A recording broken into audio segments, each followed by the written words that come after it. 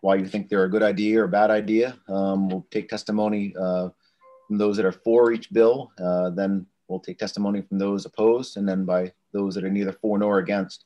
We ask folks to keep their comments to three minutes if possible, um, and then we'll have time to ask questions uh, of each of each person if uh, there are questions from members of the committee. I'd like to also remind everybody that we are um, being broadcast uh, live on YouTube as well as um, uh, through Zoom. Um, all of our comments are, are, public record. Everything's recorded and broadcast on the internet.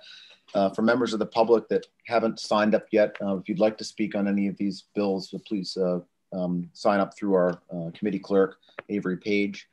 Um, and so with that, I guess we will um, begin with, um, I have the bills here in front of me, but uh, we'll start with uh, President, uh, Senate President Jackson, who's here to introduce um, uh, the first bill. Is President Jackson with us?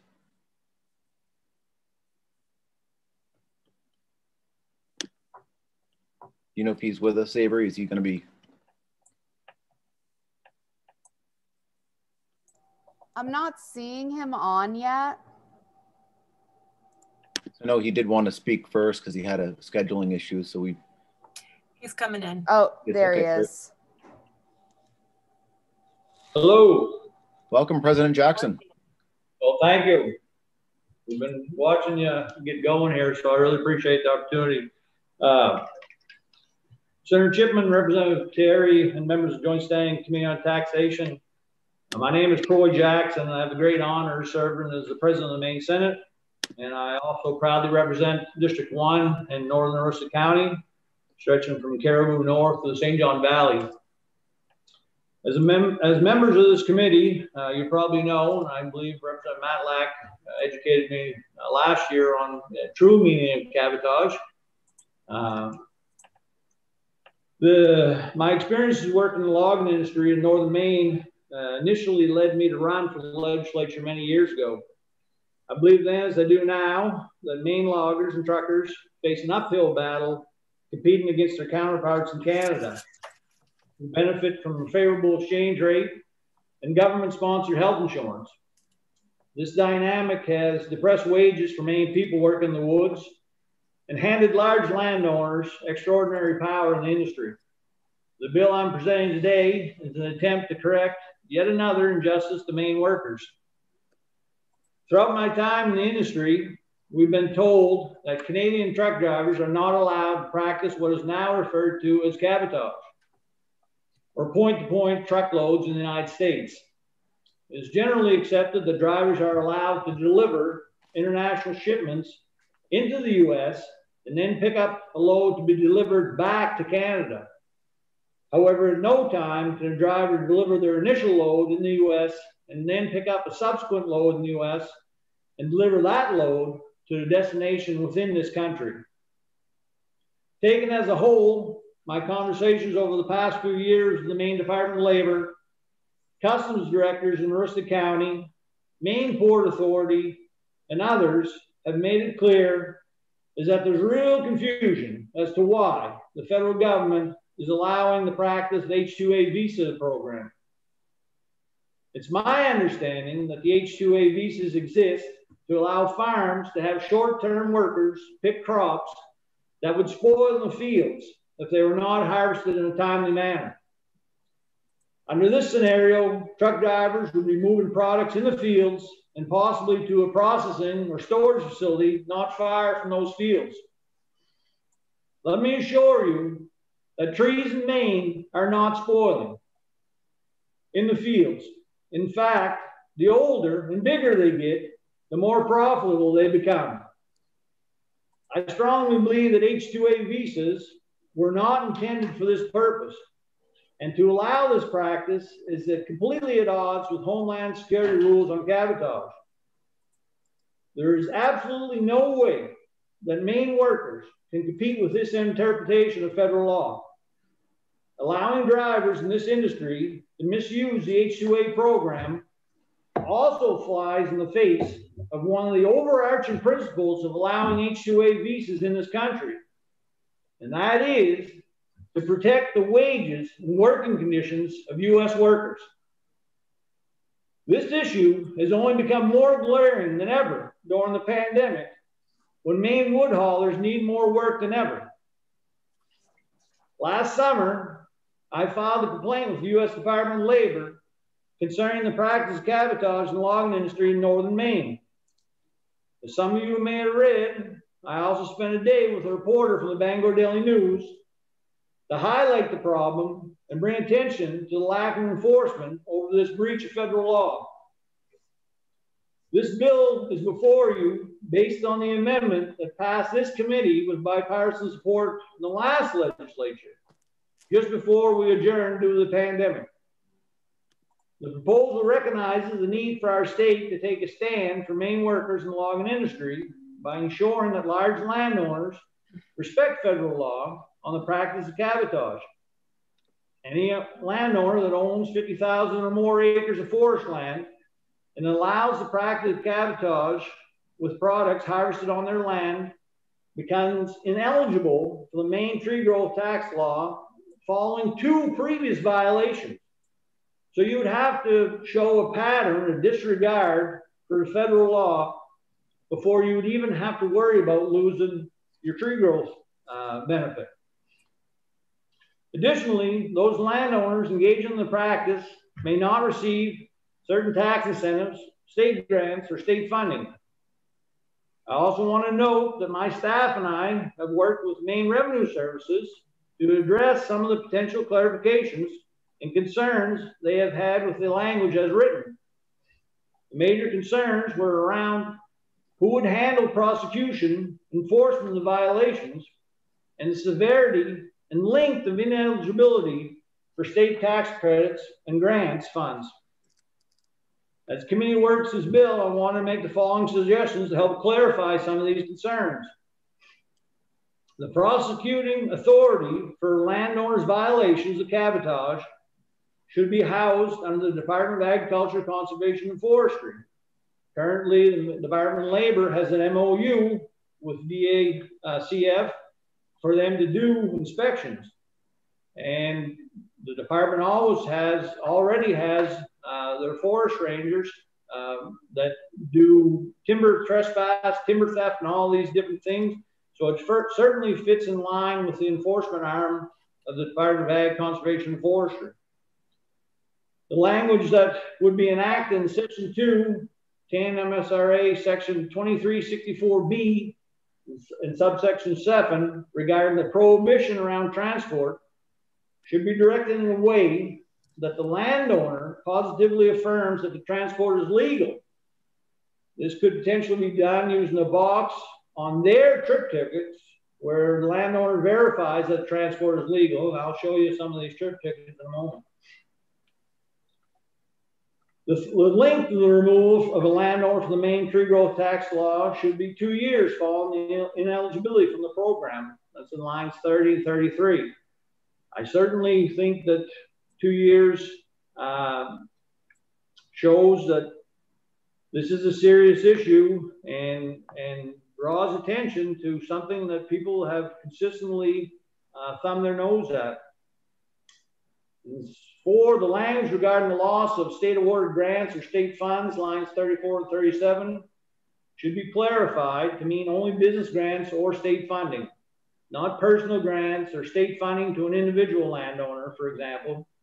For example, if a business entity otherwise qualified a carbon reduction grant, but received a third violation of cabotage law, that entity would be disqualified for the program for two years following in a similar fashion to the length of time that they would be disqualified from the Maine tree growth tax law.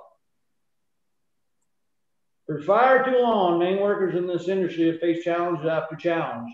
This bill asks landowners to do some very simple things, follow federal law as it relates to the practice of cabotage, and recognize that the misuse of H2A program uh, and make sure that they give Maine workers a fair shot. So I have a slideshow, but I wanted to explain to you why we put together this slideshow since, well, I mean, really since my whole life, but maybe just since uh, Friday. I've heard an awful lot from the industry and the department and the administration about how this is not happening And then when I explain to people how it is happening and that there's documented proof of it, then it's, well, there's a lack of truckers, which makes no difference if there is or not. The, the law is the law, and it's up to this state to make sure that there's enforcement of that. I also hear from the department that says that landowners have no control over this issue, which is a complete farce. I, I understand the industry very well. And, and landowners dictate to people all the time where to go on a daily basis, where to haul, where to pick up, and where they're going to deliver. The idea that they don't know who is picking up this lumber at any one time and any one day is a complete joke. That, that is not at all how this, this operates. And I also read in the department's testimony that it makes no logical sense to, to tie these things together. Well, I believe you're going to hear from Representative Myerton, who actually instituted the tree growth program. This was the very reason why we gave a tree growth tax break was to keep uh, land and forest products production. So if the harvesting and hauling of forest products is not at least tied to the tree growth program, then I don't know what else is. But but the reality is this has been a long-term problem that has consistently been brought forward by people. And, and obviously this is a big hammer to swing, but I think it's time that landowners understood that this is not something that, that can uh, be swept under the rug. You know, and, and, and I can provide for the department, but in 2017, after a number of years of fighting with Governor LePage, you know, I invited him to come to Northern Maine and meet uh, with the loggers up there. And, and to my surprise, he took that opportunity and came. And, and, you know, there was probably 80, 85 people that spoke there and spoke extensively about this issue. I mean, it's, it's documented, it's, uh, it's filmed. Susan Sharon, NPR, was there, you know, and, and what was striking to me at that time was one of the landowner industry people showed up and even though I asked them if they would leave so that people could speak freely without the fear of reprisal, and they wouldn't, people still spoke about, about this issue in front of them. And, and the, the issue is, is under that administration and under this administration, people are not taking this seriously. And there's only so many times that somebody's going to stick their neck out before they're going to get it chopped off and quit speaking. You know, the the this weekend I heard from a former classmate of mine that uh, her husband is a large contractor for one of these landowners. And she told me that she was wanting to know if I knew of anywhere where they could get cheap uh, health insurance. Because she couldn't uh, probably drive uh, to her job anymore, uh, in, you know, before she turns the uh, 60s, become, you know, her age. That's what's going on in the industry is that oftentimes, um, you know, husband and wife team, the wife picks up the health insurance um, for the for the couple, for the family. In an industry that is, uh, you know, doing as well as this, and and you know, workers that are working as hard as they are, they can't provide health insurance um, on the logging side of, of, of, the business, which is insane. And, and so, you know, I, it would be easy after getting my head slapped around so many times on this issue by all these different administrations to give up on this. But it's pretty hard uh, to give up on those people that consistently see a law that is being broken, understand that there's an industry that is being taken advantage of, Understand that it doesn't matter under Democrat or Republican administrations, there's too much closeness to the landowners, too much closeness to the Forest Product Council. And, and every time that one of these things happen and you go forward and, and ask, you know, for uh, somebody to, to look into this, that, I mean, literally this summer, and I'll show you the, the slideshow, literally this summer, when I asked the Department of Agriculture, Conservation, and Forestry they told me that they talked to the landowner. The landowner said it was legal. Therefore, there was nothing they could do. So I, I want to show you this, this slideshow because you're going to hear after me that this is not happening. and uh, I can't bring the North Maine Woods to you. Um, or I can't bring you the North Maine Woods, but I certainly can show you what uh, you know we've started firsthand, and, and uh, let somebody try and dispute that uh, that's the case. So if you give indulge me here for a moment. Excellent, Senator Jackson. Just so you know, we can't see your video. I don't know if that's something on your end or our end, but just wanted to bring that to your attention. Not not the video you're about to show us, but the video of you speaking. I think uh, I think we need the the ability for it to be shared. Okay. Um, you mean the video you're going to present to us? Our, our hand is raised and we need to be promoted. Yep. Yeah. Avery, Yeah. Avery, Avery, can you let him in as a co-host so he can share his screen? Um, I'm on the phone with IT right now. I don't have the option on my end to make him a panelist or a co-host right now. Not sure why. Um, and I couldn't get any answers from the Zoom support in LIO. So Okay. I'm trying to get a hold of IT right now so they can Okay. try and diagnose what's going on. So I just promoted him to panelist. oh, we, yeah, we see you now, Senator Jackson. You're on the screen here. Um, don't know if that makes a difference or not. Um, we're pulling it up here, I guess. okay, great. There we go. Looks like something starting here. Yeah. Excellent. So, so this is a Homeland Security guideline uh, for cabotage. Uh, it's not something that I made up or anything like that. This is the actual uh, Homeland Security package talking about compliance for commercial motor vehicles engaged in cross border, and is and I can provide this uh, to the committee. But uh, in there, as you see, movement's not permitted for the driver. And this is what you'll hear today. And this is what the department has actually told me uh, when they spoke to the landowners and they spoke to uh, Forest Products Council. Uh, they, they were told that um, the owners of the tracks that uh, were doing this were actually U.S. corporations. So it was legal, uh, which is untrue. Uh, this is Canadian companies that have just filed for incorporation uh, in Maine. They're headquartered uh, in St. Pamphile and other places across into Quebec. But it, it doesn't really matter because it's not about the truck, it's about the driver. That, that's what violates cabotage. And as you can see, drivers may not pick up at a shipment at one U.S. location and deliver that shipment to another location. Drivers may not reposition an empty trailer between two points in the United States, and the driver did not enter with or depart that trailer. That that is what's happening consistently. And, and like I said, all four of those points, it's the driver, not the truck, not the owner of the truck, it's the driver. Just to make that very, very clear. So, so here's one of the trip tickets that, uh, you know, I, and, and, this was actually pulled uh, by uh, Department of Agriculture, Conservation, and Forestry, uh, one of the forest rangers, uh, doing a um, uh, inspection.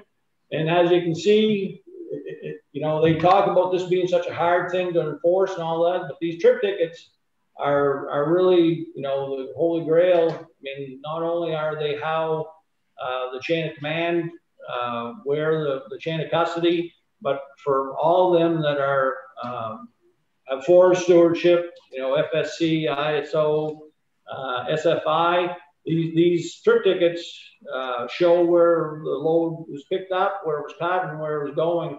And as you can see in this case, the driver name is Marco. Uh, where the load was dropped off was in Portage, Portage Lake, which is in my uh, district, clearly in Maine. And you can see right underneath, well, in two places, the township, township uh, Fit 5, Range 13, which is in Maine, and what we refer to it as Blue Pond Road. So the, the load was picked up on the Blue Pond Road in Maine, and it was delivered in Portage Lake in Maine.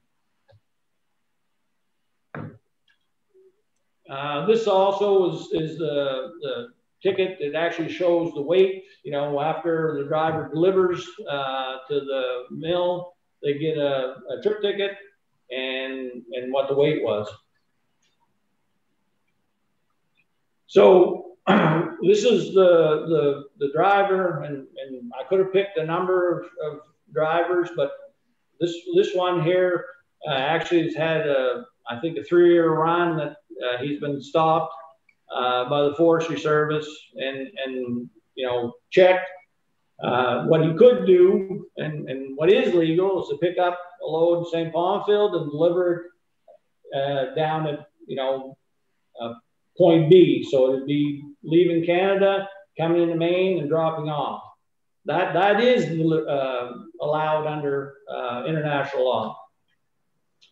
Uh, what what isn't allowed and what is happening is the drivers coming in uh, from St. Pamphile or from Canadian Point and picking up at A, let's say Blue Pond Road, and delivering at B over in Portage Lake. That is that whole trip is within Maine. That's point to point in Maine, which is not legal under federal cabotage law for a Canadian driver. This is uh, Nashville Plantation in Maine, right alongside of Ashland and Portage Lake. Uh, definitely part of Maine. Almost 8.30 Tuesday morning. I try and document this so Forestry Service could actually pull the trip ticket for this load.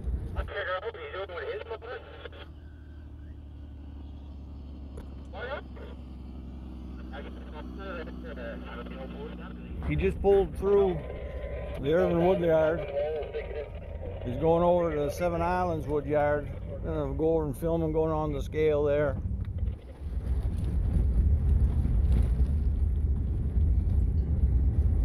Mr. Chair, Yes, Senator Pouliot. is it a new practice for us to have like um, Okay. presentations being There he made is, to Gene H. committee? Trucking. Pulling into Uh, Seven First I've Islands ever seen a landfill. video shown to committee Yeah. before. Wade. We haven't had the ability to do videos before. We have had people present charts and graphs and things like that, visual things during their uh, testimony to introduce bills. Okay. This is what it's all about right here. Right now in times people are having a hard time. People being shut off. So what you're saying is it's now allowed for anyone that's giving testimony before our committee to be able to show us video? I, I, I don't see anything that prohibits that. Certainly, it's, it's like a sponsor is introducing a bill. If this is part of their testimony introduced to the bill, I don't, I don't see anything that prohibits that unless you, unless you know of something in the rules that it does. I, I'm not aware of anything. To my knowledge, you know, in the eight years that I've been in the legislature, we've never had the ability for a presenter of a bill or anybody who was testifying on a bill to show any kind of props or videos or any kind of presentation other than handouts to the committee.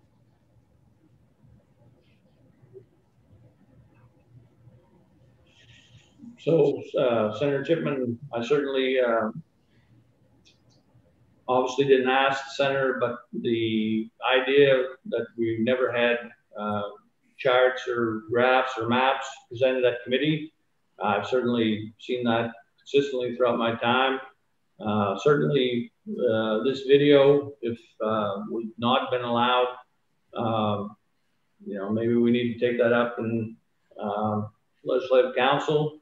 But but the re- reality is the reason why I wanted to show it to the committee is because you're definitely going to hear uh, real soon uh, that this is not happening uh, in northern Maine. And like I said, can't bring you uh, up there, um, but I can show you the what what actually is happening uh, in a very short clip, uh, so that you can you know certainly question the people that ask why um, or that this is not happening honestly, I never once thought about the, the reality of um, if it was okay to show a video or not.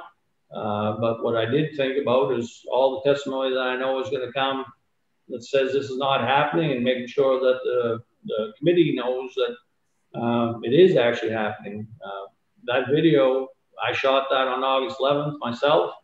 Uh, then I asked Maine uh, Forestry Service to go and pull the trip tickets And within a two hour period, they pulled three uh, separate trucks from Canada with all H2A drivers uh, dropping off there in Portage. So uh, if I broke the rules of committee, certainly sorry, but I thought that uh, making sure the committee uh, had what's actually going on um, was important. And I, I, guess I mean I've been serving since 2010, and I I was a co-sponsor of a bill with um, a representative from Augusta um, who presented a, a, it was it was a D, it was a projector. Uh, there was a video or a presentation on a projector that was presented in a criminal justice committee. I think back in 2012, and I served on the Environment Natural Resources Committee. We had some um, things presented visually on a on a projector to us in that committee back in 2013 or 14. I mean, it, I think it has happened. Maybe not exactly like this, like a video, uh, but things have been presented visually, certainly by sponsors of, of bills. I, I'm not aware of anything that prohibits that. If there is anything, I'd like someone to bring that to my attention. But I personally don't see a, an issue if there's nothing in the rules one way or another allowing a sponsor of a bill to present something to us visually if it adds information that's helpful to us as we consider the legislation. Um, so I, I, guess with that, we can certainly talk about this more as a committee um, at another time. But um, is there anything else you'd like to uh, continue with Senator Jackson with your presentation? Well, just you know, with, with all of your uh, conversations last week about uh, or the other week about small businesses and and uh, PPP loans, I would have thought that making sure that Maine businesses uh, that are you know getting uh, passed over for Canadian truckers uh, would have been important to this committee and showing that just would have been important. But we certainly uh, taken an advisement that uh, you know maybe this isn't the, the right way to do it. But I don't know how else you would have been able to see it other than go up there and so now you know. Yeah. Um, okay, great. So if that concludes your, your testimony, is there questions from members of the committee for Senator Jackson? Uh, Representative Kryzak, you have a question for Senator Jackson? Yeah, I do. Um, Senator Jackson, has there been any change in it since the Canadian border has been closed because of the pandemic? well, that's a great uh, question, Representative Kryzak. Uh, no. Um, apparently, um, Canadian truckers are considered essential, uh, so they can cross at any time. Um, you know, my district having a big part of it on the St. John River border. We've had a lot of people uh, ask me about being able to get into Canada to see their friends and relatives, uh, and they really don't understand why. Um, you know, the trucks can keep rolling over uh, when they can't go over and see their, like you said, parents or whatever. So no, they they. Uh, in matter of fact, you know, in August, whenever I shot that video and uh, went to that Bangor Daily Reporter, there was a huge layoff uh, in the industry in my area of uh, truckers uh, and cutters uh, because uh, the market was bad. that video Uh, actually it was when all, all, a whole bunch of my constituents were at home, not being able to work. Uh, and they kept the Canadian trucks uh, hauling throughout that entire time. And we presented that at that time to the department here at Ag. And that's when they uh, went back to the landowner and asked them if it was legal. The landowner said, yeah. So, so they just let it go, which, you know, was amazing to me that in a time whenever people were laid off, not working in a pandemic, uh, they didn't get those opportunities. If the industry, I mean, you know, throughout this entire time, we've heard about how the reason why we need H2 workers is because of the shortage in the industry. If people are laid off because the market is bad, I can't understand for the life of me why we allow H2 workers to come in and take what jobs that are left. Uh, Thank Representative, you. Representative Gramlich, do you have a question? Thank you, Senator. Thank you, um, Senator Jackson. Uh, so if I'm understanding this correctly, the practice that is um, occurring really puts our forest industry and hardworking Mainers in northern Maine at a disadvantage. Am I understanding that correctly? Well, that definitely is my opinion, and, and certainly a uh, big reason I think why you know I've been elected there throughout this time. And uh, you know, in 1998, uh, the exchange rate was upwards of 55% on the dollar. Uh, but certainly it's gone, you know, up and back. Uh, I think now it's a little over 30%, but that, that's a big, that's a big um, advantage for uh, those workers. Uh, like I said, not having health insurance. Most of the people that I know in the industry don't have health insurance. If they do, they're not getting it uh, from their, their logging job. They're, they're, like I said, they're getting it hopefully from their uh, partner or their wife in another industry.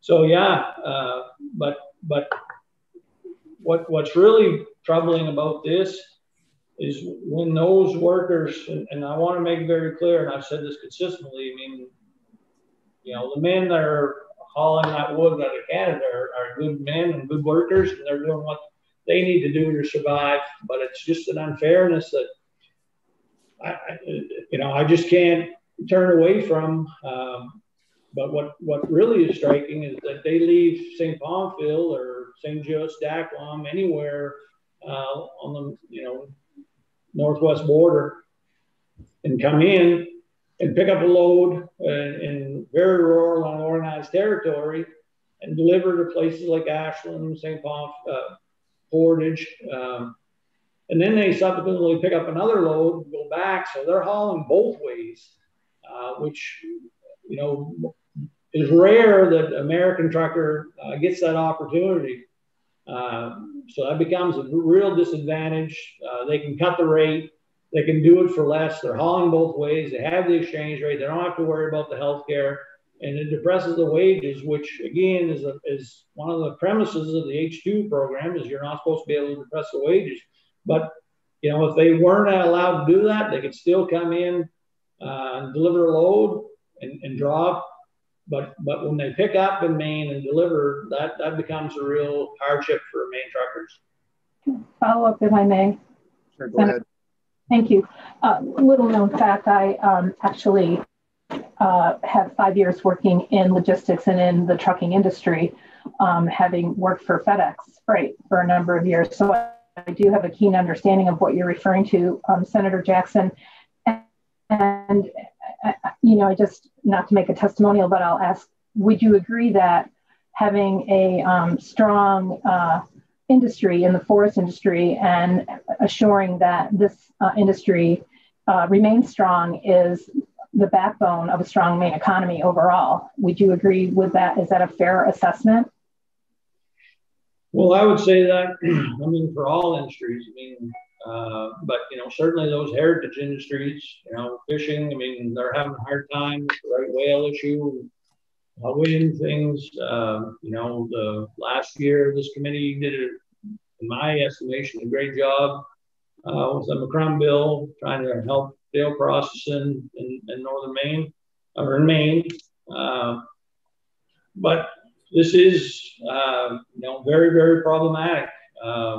Uh, you know, when, when you don't have the ability to negotiate uh, for fair rates uh, because you have uh, a whole uh, subset of, of uh, workers that can come in and undercut you, uh, in my belief, illegally, um, you know, even, even if, even if you can, even if you can believe that it's okay for these truckers to come in and do point to point hauling in Maine, even if that is legal, the fact that they're undercutting American wages and depressing them is a violation of, of federal uh, H2 immigration law. And, and, there's no way that you can argue that they're not undercutting them. I mean, uh, they can do it for less, and, and, and they are. And, and it is uh, a long term problem that under different administrations, people wouldn't take a stand.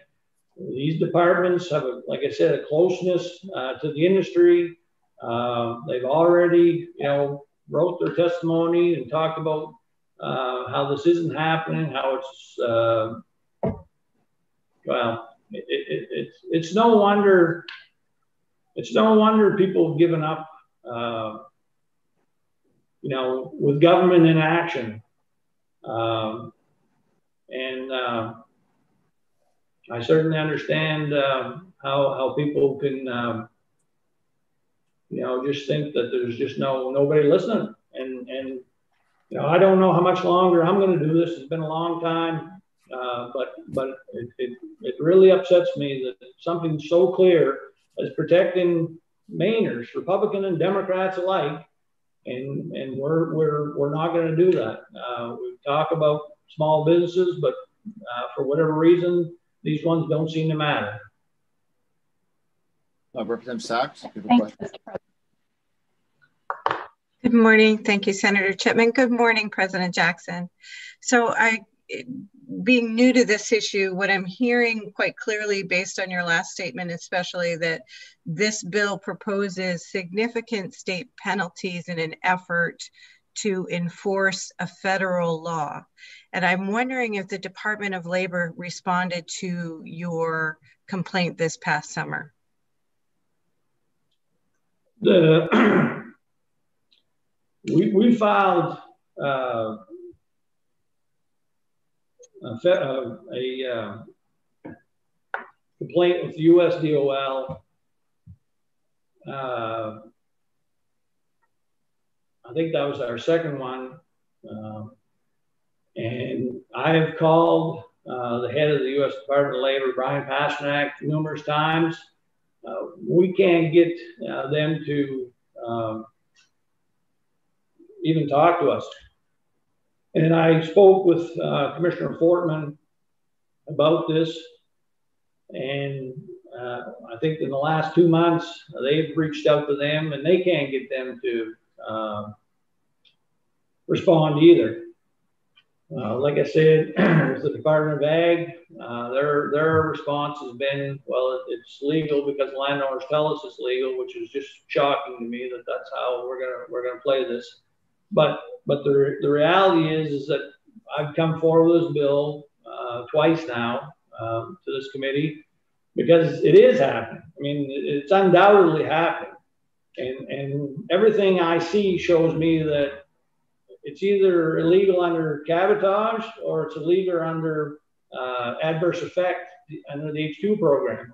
And the only way to stop it at this point is to make some type of stand. And you're going to hear how this is overly burdensome and such a you know huge penalty landowners. Well, landowners know what's happening. I mean, without a doubt, I've called them, I've talked to them, I've offered uh, constituents of mine to, to do the hauling.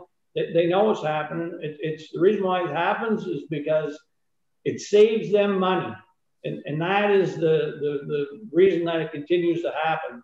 The only way that we're going to uh, get a change, if we want to change, and obviously some people may not want that, is, is to have something that actually uh, penalizes uh, the people that are allowing it to happen. And this doesn't even do it at first blush. I mean, you got a three strike provision in here before you're actually going to get, uh, you know, the big penalty. Uh, but it, it's clearly, like I said, happening, and and it's something that I just, like I said, uh, I'm not, I can't, I can't look people in the face when there's something black and white in federal law, and, and look them in the face and tell them, well, I'm sorry, but nobody wants to take a stand on this. Nobody wants to actually enforce it uh, when they, we, they all know that there's no way that they can they can work any harder, any more hours a day. Uh, I mean, I've never seen a group of people, husband and wife, you know, struggle any harder to make things work. Uh, so, I mean, uh, I'm, I'm not, I mean, you know, I, I think this week I've been called a one trick pony I beat the same drum all the time. Well, I'm going to damn well beat that drum because there's something the matter that we don't want to protect uh, the Maine businesses, the Maine workers that uh, are working their ass off on a daily basis. Right. And I definitely hear the frustration. Again, my question was just around the mechanism of uh, state, significant state penalties enforcing a federal law and and sort of the the work around that. Has our federal delegation been um, any response to you as well? That's my. I've worked with uh, Congressman Golden uh, quite a bit to try and uh, uh get the federal government to uh, do their job and obviously, uh, you know, these past couple months have been quite an upheaval for a lot of different reasons. So, I mean, it's probably not uh, taking the precedent. But, but let me, you know, just speak to that point. I mean, I, I, I, you know, categorically disagree with the fact that, and I'm not saying that you're saying this, Representative, but because this is a federal law, then the state of Maine has no role uh, in protecting Maine loggers and truckers. Uh, if, if we know that it's illegal, if we know that it's happening, if we know that there's an adverse effect and our people are, uh, you know, put in a, a, situation where they, they are hard, having a harder time to compete, I think it's incumbent on us to use uh, any mechanism that we can to enforce that federal law and make sure that uh, they have uh, the protections that they deserve. Uh, you know, federal um, inaction is not a reason for state inaction. Uh, Duly noted. Um, and just for the record, Mr. Chair, I, I, would have appreciated seeing the video. I don't care what bill it's on. I don't. I, I think the additional information um, is of a benefit. So thank you so much. And um, President Jackson, if I don't know if you're able to send that to the committee afterwards, um, but that would be most appreciated. Thank you. Representative Terry, you have a question? Yes, thank you, uh, Mr. Chair. Thank you, Senator Jackson, for bringing this to us again. Um, I just have a question that I'm not sure if I had asked last time, but I know we're sort of in a unique position um, with our forested lands being on a border, but are there other states that struggle with uh, this particular federal law, like, um, you know, perhaps in the Pacific Northwest or even New Hampshire? Um, like I said, I know that we're definitely in a um, unique geographical location for this to be happening, but are you aware that it happens anywhere else? So, I mean, uh, I think back in uh, 08, uh, 09, um, current Governor Mills, when she was Attorney General, uh, brought forward some of uh, our complaints. Uh, they were um, a lot similar. A group of us actually went into the North Maine woods and uh, videoed a bunch of uh, H2 workers. Uh, in that situation, what was happening was the wife was uh, forming the corporation, and then she was bonding the husband to come in and run their equipment here in Maine. Uh, under that scenario, uh, Governor Mills, the Attorney General's office, took three companies to court and found them in violation of H2 uh, law and uh, proof of ownership here in Maine. And, and some of those companies actually uh, left Maine and set up shop in New Hampshire. Because um, I remember the New Hampshire Department of Labor calling me and talking to me about it. And, and, and I asked who it was. And when they told me who, who it was, I mean, I mean, they were the companies that we had kicked out of Maine uh, similarly. Um, since that time, those companies are back working now in Maine um, currently, and they're one of the ones that actually are violating uh, cabotage. Uh, so the only thing that I've ever heard was that one situation where um, one of these companies went to New Hampshire, and for the first time ever, New Hampshire started using H2 workers in the logging industry. Uh, I've checked, I've dealt with Washington, I've dealt with Michigan, Oregon, uh, numerous states across, and I, have never heard of the H2 program being used in logging. But you know, I guess you'd really have to understand, you know, the the, the problem of uh, the North Maine woods. Uh, like you said, on the border, uh, you know, some of these places are on the Canadian side, uh, you know, are more urban centers where you have to go 50, 60 miles uh, before you start getting to places in, in Maine. And so I think it's it, it definitely is a problem about a sight out of mind. Uh, but like like I said, it, it's still. I mean, you know, the, the, the stuff that I provide you today and other stuff I have, it all came from inspections uh, with the Department of Ag. Uh, those are not things that I was able I could get uh, or anything like that. That was inspections that came from the department. So I mean, the department knows it's happened. They've been uh, stopping and inspecting these uh, these trucks. But again, it's to answer your question, New Hampshire did it for a very short period Uh, they're not doing it right now because the company that was asking for H2 workers is actually in Maine asking for H2 workers. Interesting. Okay, thank you. Senator Carmichael has a question. Yes, thank you, uh, Chair, Mr. Chair. Uh, thank you, Senator Jackson. Um, I got a couple of quick questions. One is that that uh, truck that was in the video you showed was that one of the ones that um, has corporate, you know, has been incorporated in the state of Maine, or is that? Yeah, uh, it is. So that is actually G&H trucking, and that's um, on the trip ticket that was provided. Well, that's in that screen. Um, the video or me, the presentation that you know will get to you. Uh, but uh, that driver, like I said, has been stopped um, in my well three years in a row. But I mean, I could take you to Northern Maine today, and we could stop that truck again. And basically, what that is is a company called Transport Regie uh, out of St. Pamphile. Uh, and then they subsequently created G&H Trucking, uh, which is the owners of Transport Regie. Um, they basically just have to file and get a U.S. corporation. Uh, and in their minds, I guess in the landowner's minds at that point, uh, makes it legal. But again, it, it, comes down to the driver who's clearly uh, an H2 worker. Uh, that's that's documented here too. We can provide you, um, you know, out of Canada. Um, so that that's that's one of them. There's numerous uh, companies that are doing that. Uh, just happened that day, like I said, I was able to video those uh, trucks and then have uh, the Rangers Forest Service uh, go and pull those trip tickets, and then I had to file a freedom of information request asking for the tickets.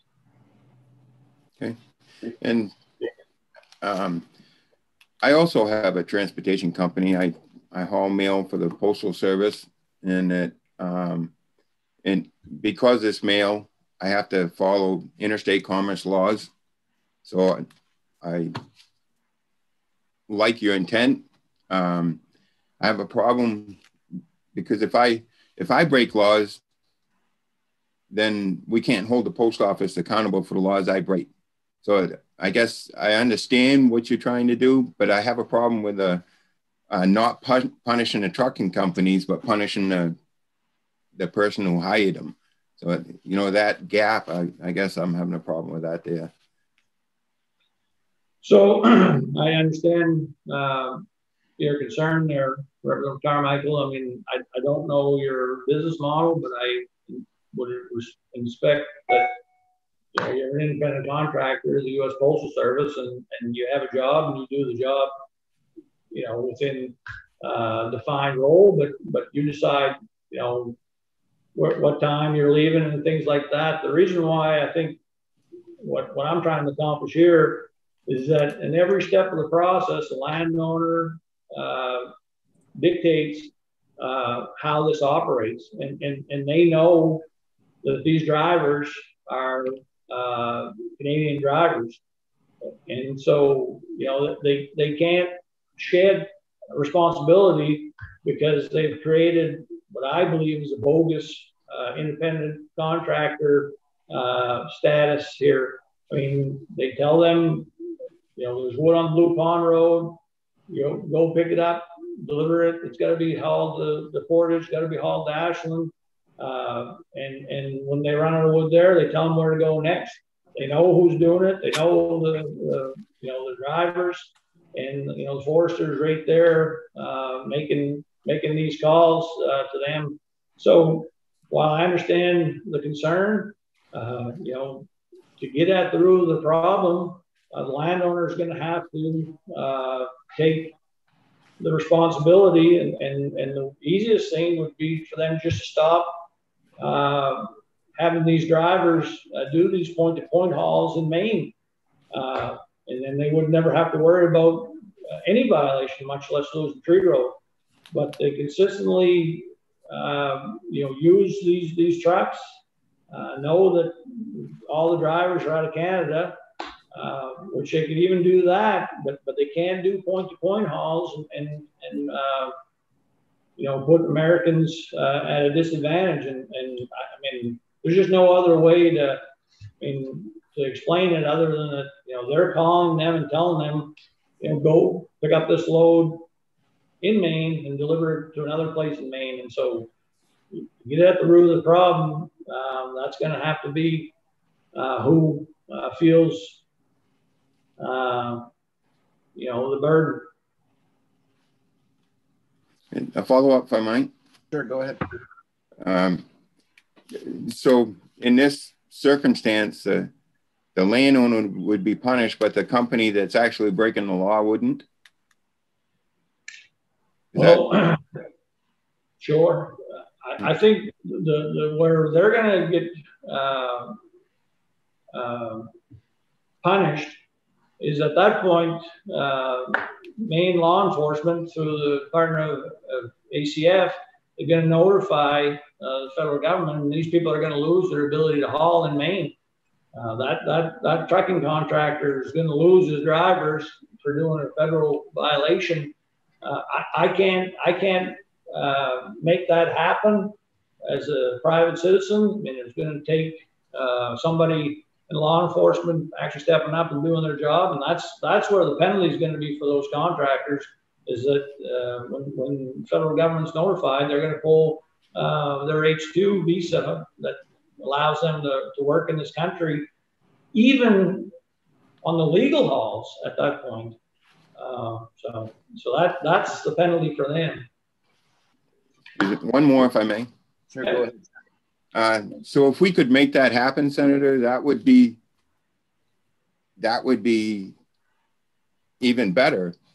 If we could make what you just said happen to the contractors rather than um, you know, trying to find a way to hold the landowners accountable, taking and, and suspending the company's authority to operate in this in the United States seems like to me that would be a you know it would be a far better answer to the situation sure. and we want more land and tree, tree growth i mean we want that resource there i hate to see them penalized that way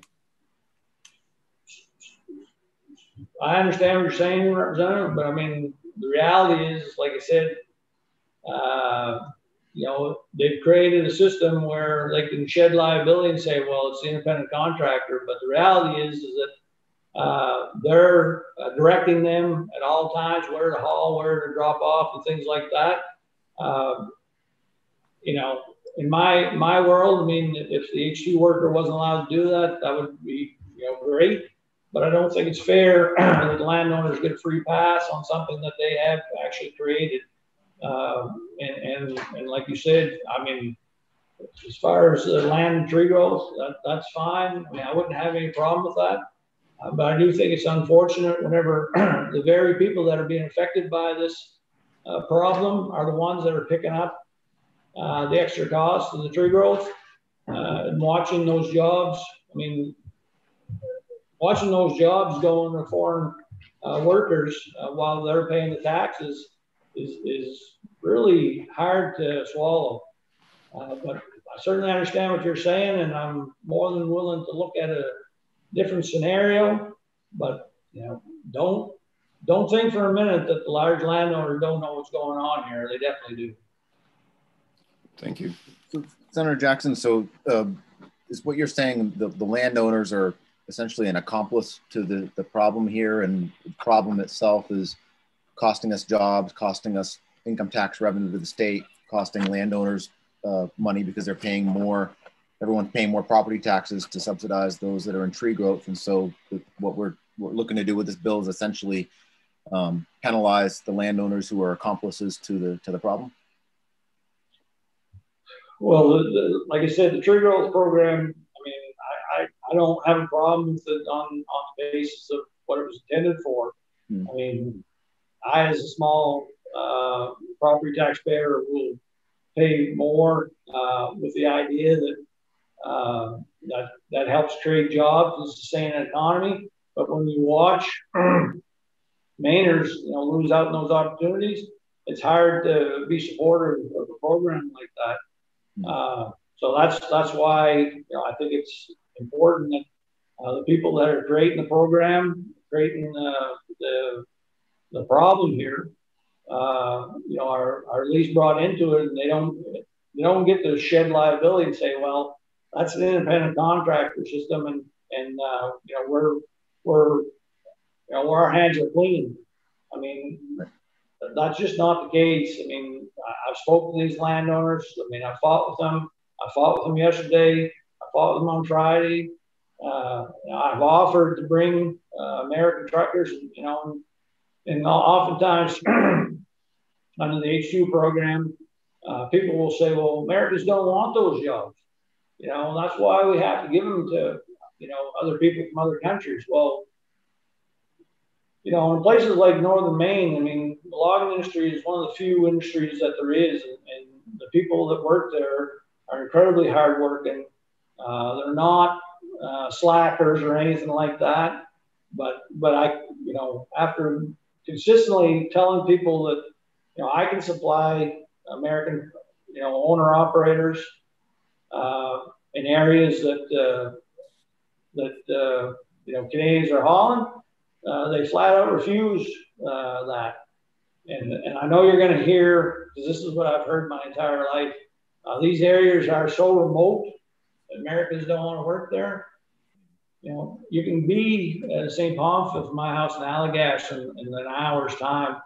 Uh, you know, there, there's no, with the road system that's in the North Maine Woods, I mean, there's really no place that uh, considered, you know, that far or that remote. I mean, you know, and, and if you're a logger and a trucker, uh, you expect that you're going to have to travel, uh, you know, significant differences, distances to, to make a living. So that's the bogus argument too that, um, that I expect you're going to hear. But it's just just the fact of the matter that this is this is an industry that um, has used these workers to depress the rates, and, and I don't think there's anyone that uh, when looked at can say that uh, that's not actually happening. Thank you, Senator Jackson. Um, I guess uh, there's no other questions. I, just as a follow up to the, the, issue around the video, I, if the Legislative Council does take it up, I would, I personally found the video very beneficial. I would encourage um, council members to allow sponsors at least to to uh, present videos or other presentations when they introduce bills. Maybe not everybody that speaks on a bill because they're limited to three minutes, but for sponsors, I think where there isn't not a limit of three minutes, it would be really helpful to allow that going forward if that does come up. Um, so I guess Mr. Chair. Yeah, go ahead. Go ahead. Could I have one clarification from the senator, please? Sure. So, uh, Senator Jackson, uh, so you, your stand is that uh, because the trucking company is incorporated in the United States, the trucking part of it is legal, but because of the H2 visa, the employee part of it isn't? I, my my understanding is it doesn't matter where the truck is incorporated, if it's a Canadian owner, if it's a U.S. owner, it's the driver that, that violates cabotage. If it's a Canadian driver, then then they they can do point to point hauling, and it's the same way for Mainers going to Canada, New Brunswick, Quebec, whatever. We can haul wood into Canada, we can go over there and pick up a load and, and come back but we can't go over to Canada and pick up a load and deliver it in Canada. And, and the Canadians have no problems enforcing this. Uh, so it's basically the driver is the distinction. Is is a foreign driver, then you can't do uh, point to point, um, you know, in, in, the United States, and, and same thing if it's a U.S. driver, can't do point to point in Canada. But a U.S. driver could do point to point. I mean, uh, a U.S. driver could for a Canadian company do point to point in Maine legally? The U.S. driver could, yes. Okay. Thank you. But they don't hire U.S. drivers. oh, I understand. Yeah. Any additional questions from members of the committee? Seeing none, thank you, Senator Jackson. I look forward to working with you on the bill at the work session. Um, so we have additional testimony from those in support. Representative Martin, is he uh, with us, Avery? Checking attendee list now. All right, I'm gonna go ahead and promote him to panelist.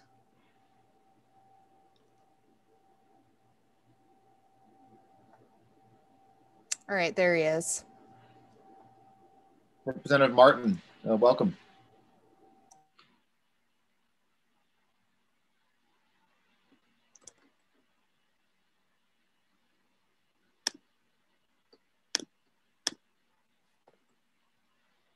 Representative Martin, are you uh, ready to present your testimony?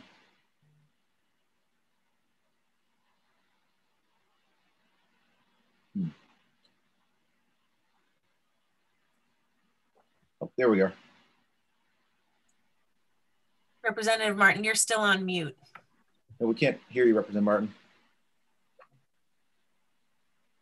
How about now? Yep, there you go. Perfect. Okay, thank you. Uh, uh, let me just uh, begin by saying to Senator Chipman and Representative Terry that I am John Martin and I represent District 151. If you think of the state of Maine beginning uh, at Fort Kent uh, and then coming down all the way down through Ashland and eventually getting to Oxbow, everything west of that highway, uh, it, all the way to Canada is my legislative district.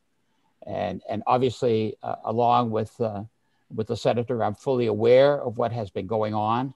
And it has been an issue which we have tried very hard to talk to the industry about, uh, but they seem to want to ignore it. Let me just first begin by saying that I am the sponsor and the creator of the tree growth law uh, many years ago. And I did so in the belief uh, that we ought to encourage people to, as much as possible, keep forest land in play, uh, to grow uh, trees for the use and, and the advantage for Maine people. And, and, and let me begin by saying this. I think that maybe what we need to look at is go back and take a look at there are conditions upon which you have to meet in order to be to stay in tree growth. Uh, and those conditions are listed in the law. Uh, they include basically for a Grahamsville forestry plan. Uh, they include a number of issues which need to be met, and every so many years that plan needs to be submitted, whether it's to the municipality or uh, to the to the Re- Maine revenue service. And maybe that we need to try to see if there's a way that we can incorporate that. The, the purpose is not to uh, put harm on the people who deserve not to be harmed.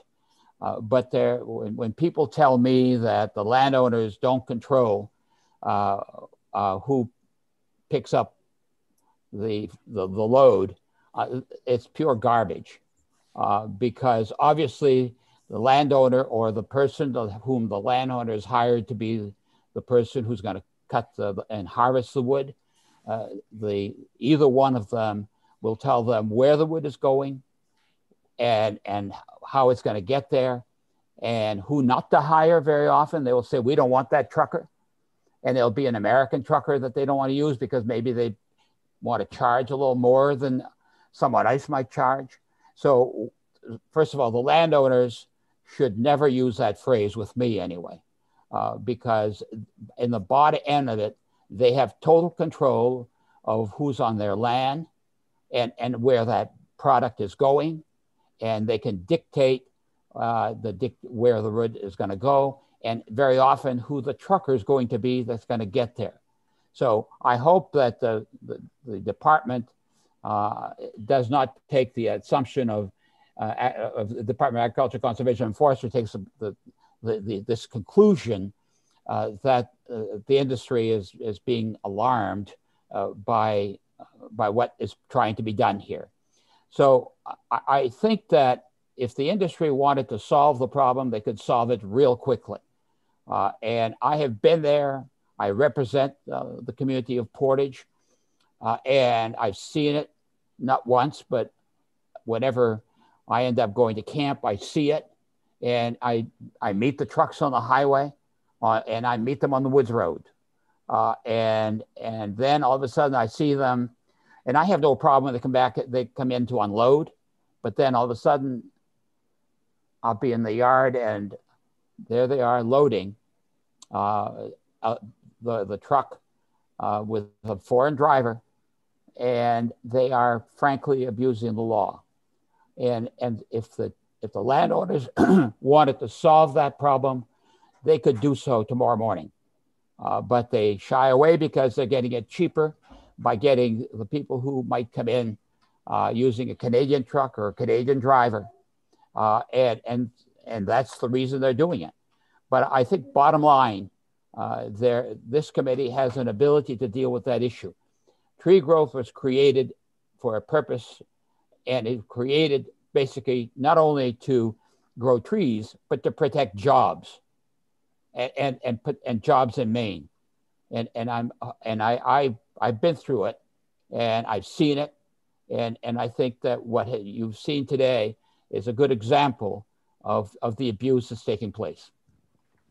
I'd be more than happy to respond to any questions today or any other time. Thank you, Representative Martin. Is there any questions from members of the committee? Seeing none, uh, thank you, Representative Martin, uh, for being here with us. Appreciate thank you. My pleasure. History on the tree growth law and your work on that over the years. Um, so we have others that would like to speak and support. Uh, Dana Gardner. Is Dana Gardner with us?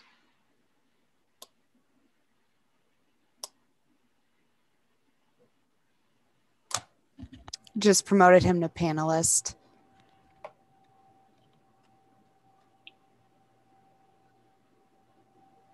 Okay, there he is.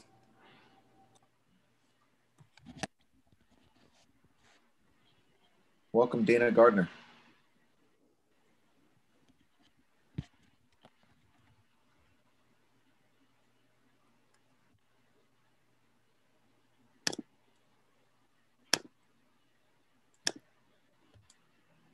Mm.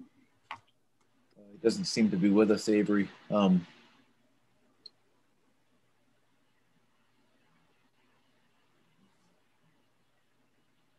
maybe we should go to Dave Sullivan and come back to him.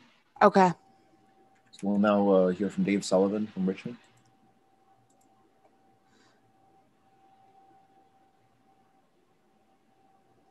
Okay, Dave Sullivan is a panelist. Great. Welcome, Dave Sullivan.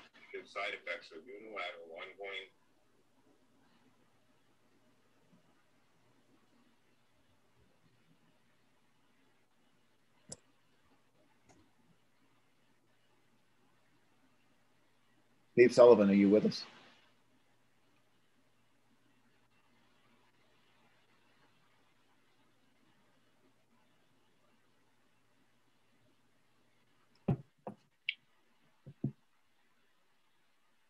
Appears to be some kind of technical issue here, uh, Avery.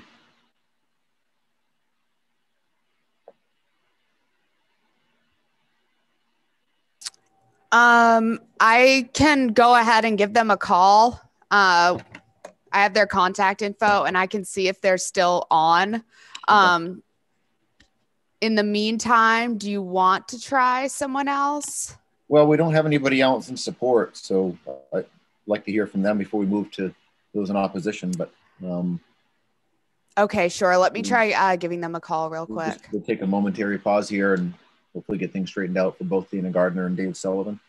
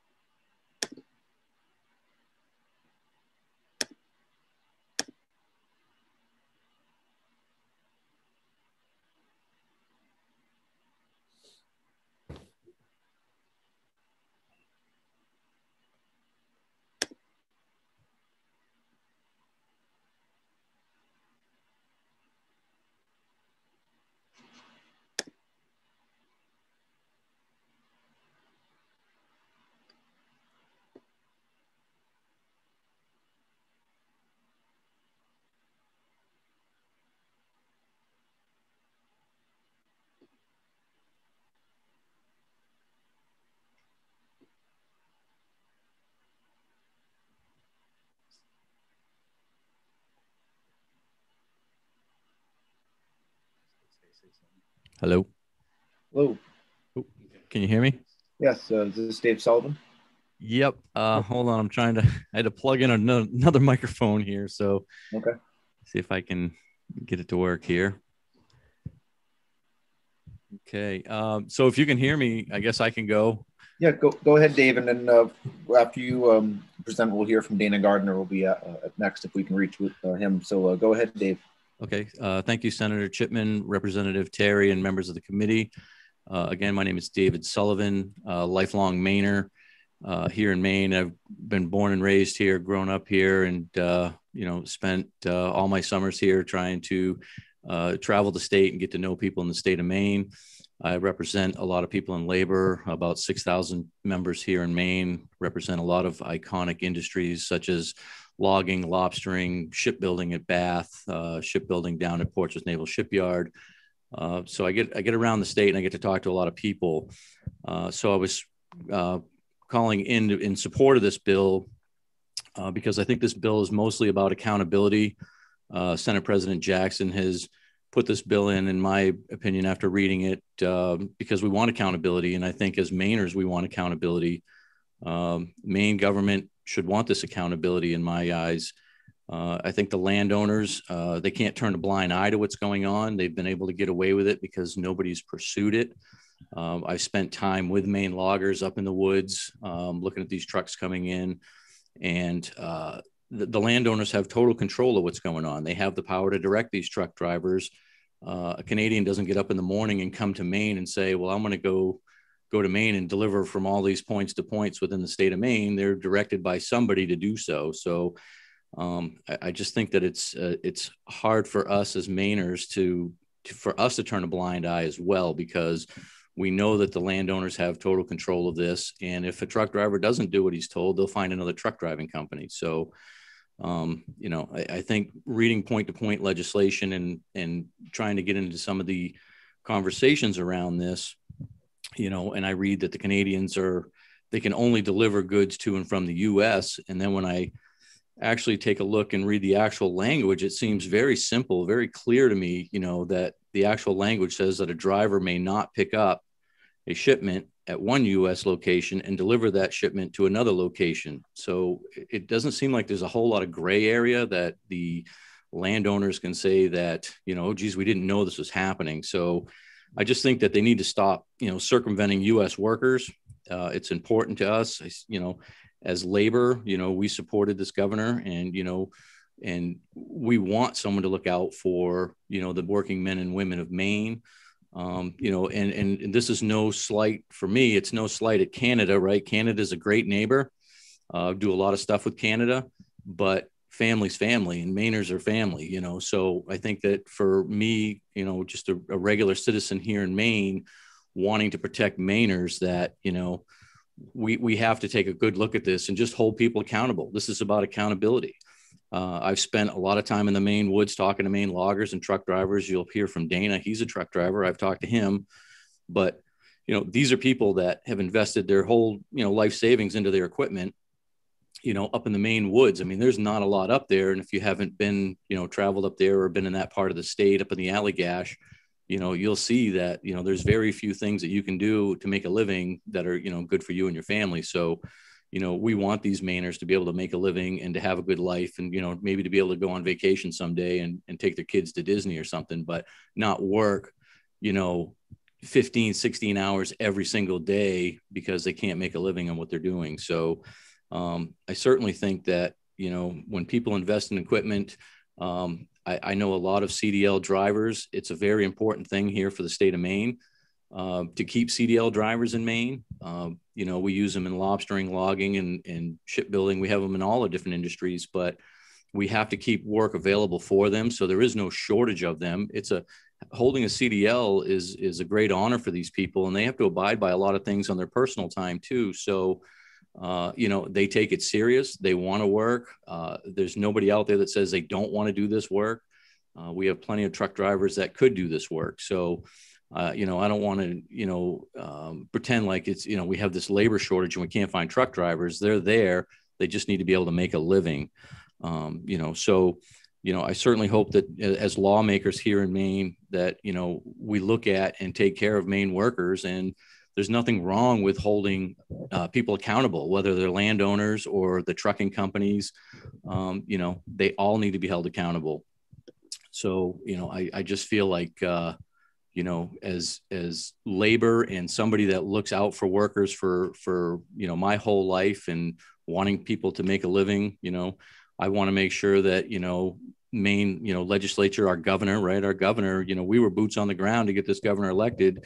And we were the ones that were out going door to door saying men and women in Maine need a voice. And, you know, we thought that she was going to be that voice. So, you know, we fully expect the governor to support something like this and to make sure that these companies, these landowners, these Canadian truck drivers are all just held accountable. And that's all that that we're looking for out of this. We're not looking to bash anybody, but just they need to be held accountable. And the, looking at the trip tickets and watching that video is a real eye opener on just how easy it is to hold them accountable, but nobody's been able to do that. So, uh, yeah, I speak in support of this bill.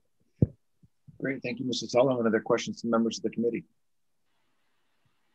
Seeing none, uh, thank you for being with us today. Uh, we'll now hear from uh, Dana Gardner, uh, who'd like to speak in support of this bill.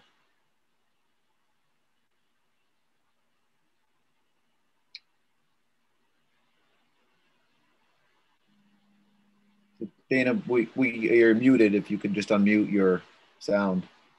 Dana, you're going to want to go to the bottom left corner of your screen. Just hover over if you don't see uh, a menu, but you should be able to see a mute button. You can have the option to mute and unmute all the way over on the left.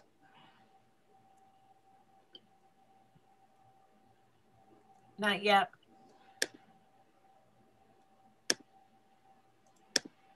You're still muted, um, Dana.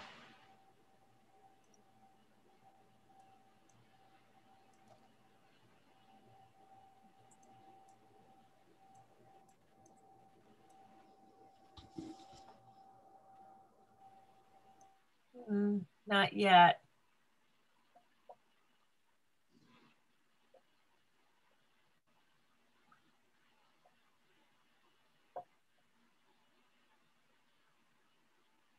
Think Avery's going to call to walk you through it.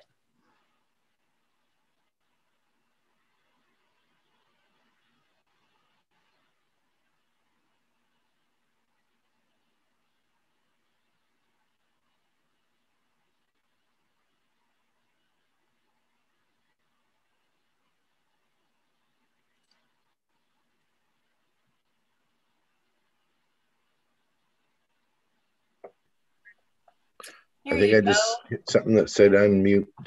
That's it. You're here. Welcome. All right.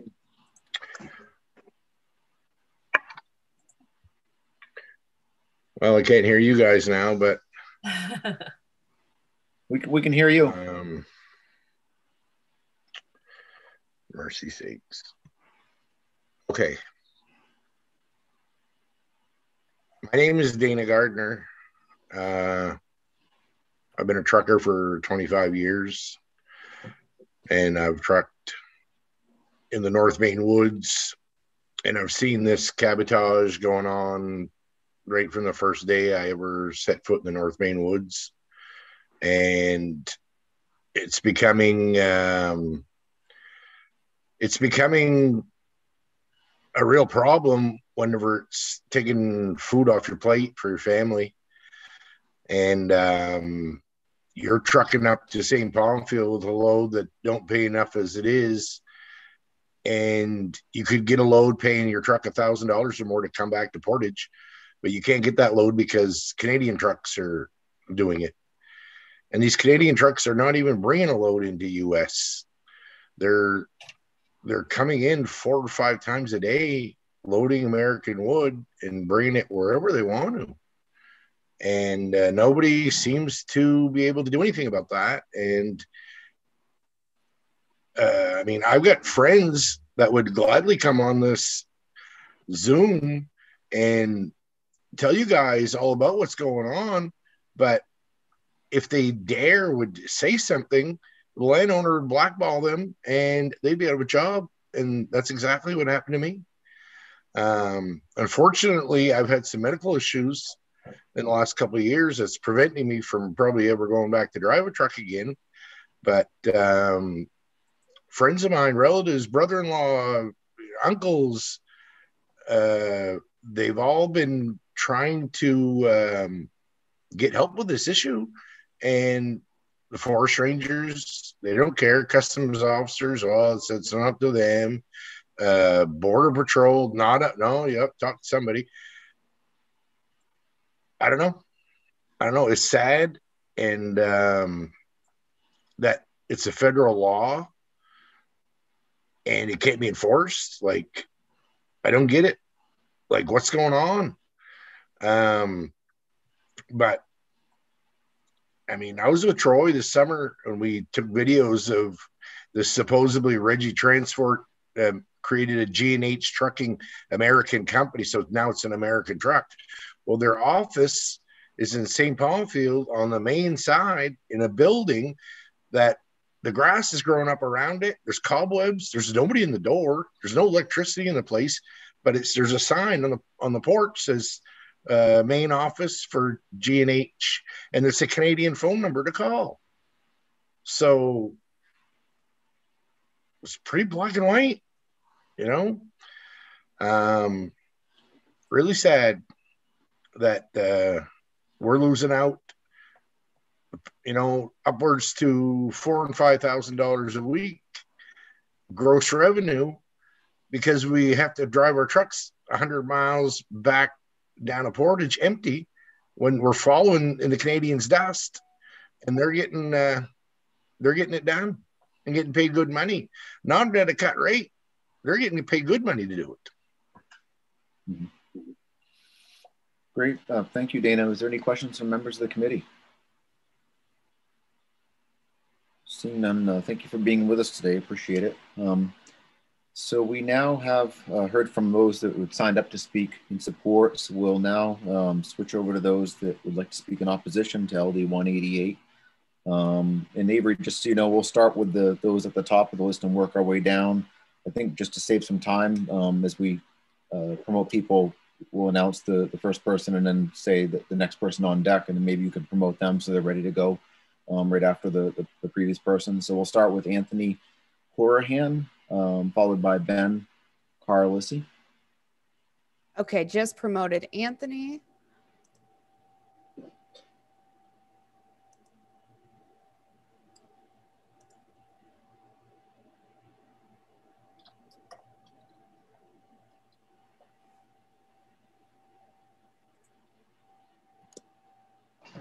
Uh, good morning. Welcome, Anthony. Good morning, Senator Chipman, Representative Terry, and members of the committee. I represent Irving, timberland owner, mostly in Aroostook County. Uh, we've uh, been timber owners in the county since 1946. We supply about uh, a little over a dozen mills in the state of Maine, including two of our own, one in Dixfield and one uh, in the Ashland area from, from those lands. And I'm here today to testify in opposition to LD 188. This is a bill that is presented to be a solution, but we don't believe that the, the problem lies with landowners. It, it seems that uh, many folks think this is a legal issue that uh, uh, people that are, are, using bonded labor have the right under the law to do so. So we think it's it's a bit of overkill. As Senator, or sorry, uh, Representative Martin uh, spoke, the tree growth tax program was put in place in 1969 to promote landowners with more than 10 acres of forest land uh, to keep these lands as working forests. The idea was to prevent good stewardship of the forests, benefit uh, long-term Maine's uh, forest industry, as well as to provide all the other benefits that society gets from healthy forests. The idea of removing a landowner from tree growth or using a legal contractor who is using a legal employee has nothing to do with good forest stewardship. The basis of qualifying for tree growth is based on having a managed plan and undertaking forest management not managing an independent contractor's employees or a subcontractor's employees. Uh, also, uh, one of the issues we see with the bill is that tree growth today is the same for everybody from 10 acres uh, to a million acres. And this would put a different categories in place where someone with 50,000 acres or over would be treated someone uh, differently than someone with less than 50,000 acres. If this is a, a, big issue that needs to be dealt with, uh, what's the difference in someone with 35,000 acres or 10,000 acres or 1,000 acres uh, utilizing this if, if it's not a legal uh, way to do business? The bond of labor that is undertaking the work is doing so legally under state and federal laws, is my understanding at this point. And Senator Jackson was pointed out that he's gone to many different departments and they've initiated investigations and there was no violations revealed. So no violations, which tells me as, as a landowner that uh, folks are working within the boundaries of the law. And in fact, that's ingrained in our contracts that they must follow all state and federal laws in, in our contracts. So again, it's a solution that's looking for a problem that I don't believe is tied to the landowner. And, if there is an issue with the, the bonding, uh, which is quite an intense purpose or process, sorry, to get a bond demonstrating that you can't find local labor, uh, then that's where the uh, the issue should be should be looked at, but not on a on a tree growth tax uh, that's there to promote good forest stewardship in the long term. So again, I'd, uh, I'd urge you to pass ought not to pass on LD 188. And I thank you for your time today. Great, thank you, Mr. Horan. Is there questions from members of the committee? Yes, Rep, uh, Representative Matlock. Thank you, Senator Chipman, um, and welcome, Mr. Horan. I have a question about H-2A visas. I understand that's how um, the drivers are allowed to come into the country and go port to port. Um, who sponsors those H-2A visa um, applications? Does your company? I'm, I'm not aware. We, we don't, uh, no, we, we don't currently have any uh, H-2A visas. I, I think the last time we did was probably 15 years ago or so. Uh, so it would be sponsored directly from the contractor, I would believe, but uh, we're not directly involved in that. We okay, tend to because I, I we work uh, quite closely with H2B on the silvicultural workers. I'm sorry, say again. You H2B is the visas that your workers use? Generally, that's the ones we use for our silviculture programs in the summer, our tree planters and, and folks like that. But uh, our workforce is, is comprised of local Mainers from the county. Okay. Thank you very much, sir. Any additional questions to members of the committee? Go ahead. I have one quick one, Mr. Speaker. Sure. Um, yes, does your company, um, do they harvest the wood and truck the wood as a landowner? Do you have all phases of this, or are you? Uh, no, we've. Uh, no, so we're uh, we're we're a bit of a combination compared to some other landowners. That the majority of our work is done with independent third-party contractors uh, trucking and harvesting included, as well as road building. Uh, we do have one small fleet of trucks that we run as company employees. Uh, so we do have that. That's a little bit of a, we call it the farm team, where we have folks that come on and we can we can teach people the correct way to drive and and, uh, and that type of thing. But generally, I would say 95% plus or 98% of what is done is independent third-party contractors.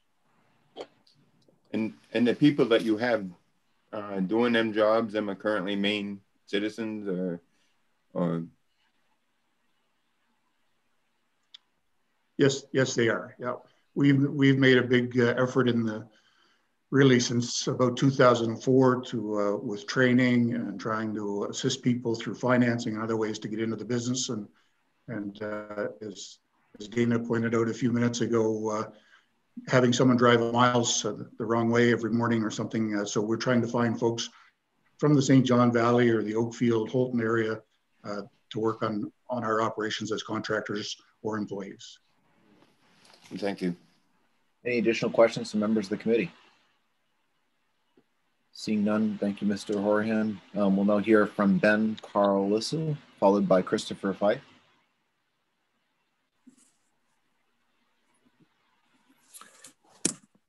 Uh, good evening. Uh, good afternoon. Can everybody hear me? Yes. Okay, great. Uh, thank you. Uh, it's Ben Carlisle, by the way. Uh, distinguished members of the Joint Standing Committee on Taxation, my name is Ben Carlisle. I'm president of Prentiss and Carlisle, headquartered in Bangor. We are a large uh, forest manager and a forestry services provider. We represent forest landowners large and small in Maine and beyond. And we ourselves have owned timberland since our company's founding in 1924. And I'm here today to express my strong opposition to LD 188. As a landowner and land manager, we contract with many independent full service logging companies to harvest and deliver our timber to various mills throughout the state.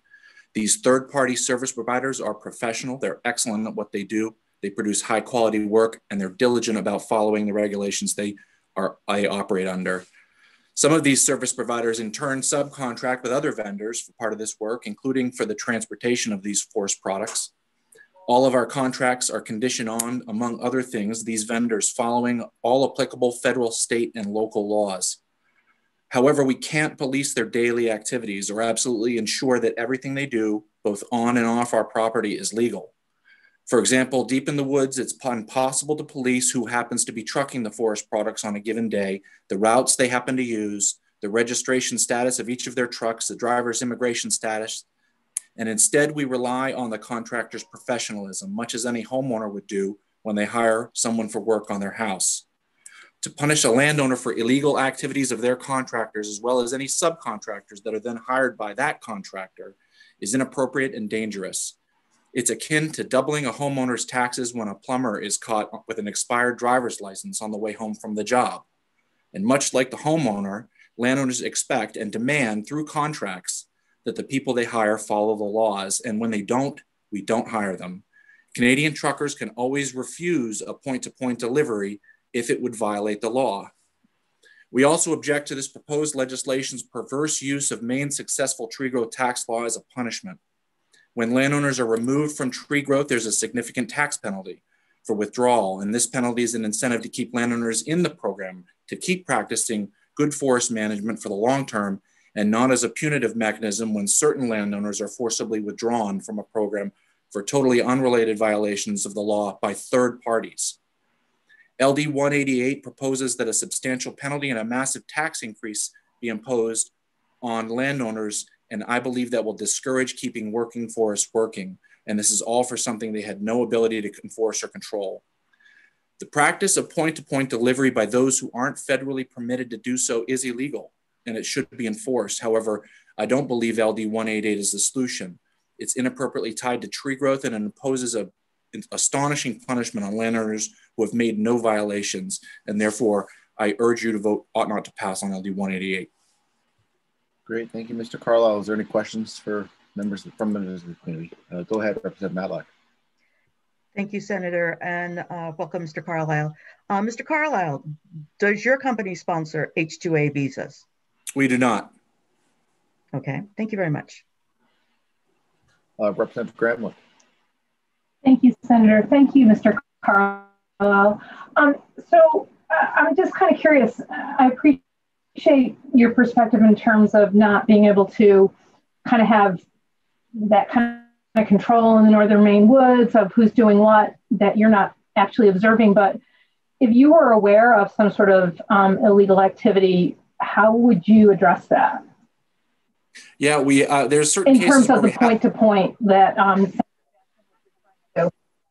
sure. Uh, well, uh, we aren't aware of of uh, uh, if we were to discover that. I mean, they would the contractor would no longer work for us. We there have been cases where we had to enforce laws where drivers have continually operated overweight, for example. Um, and in those cases, when we find violations of the law, we no longer hire those people. So we have the ability to to uh, to cancel the contract and to uh, prevent them from from from being hired by us. Thank you. Any additional questions from members of the committee? Yes, Mr. Chair. Go ahead, Mr. Representative Carmichael. Carmichael. Go ahead.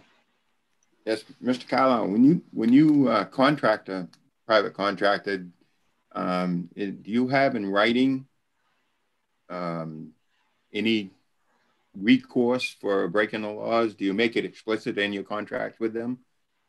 We do. Uh, we have a statement in each of our vendor contracts that uh, where they are uh, directed to follow all state, local, and federal laws.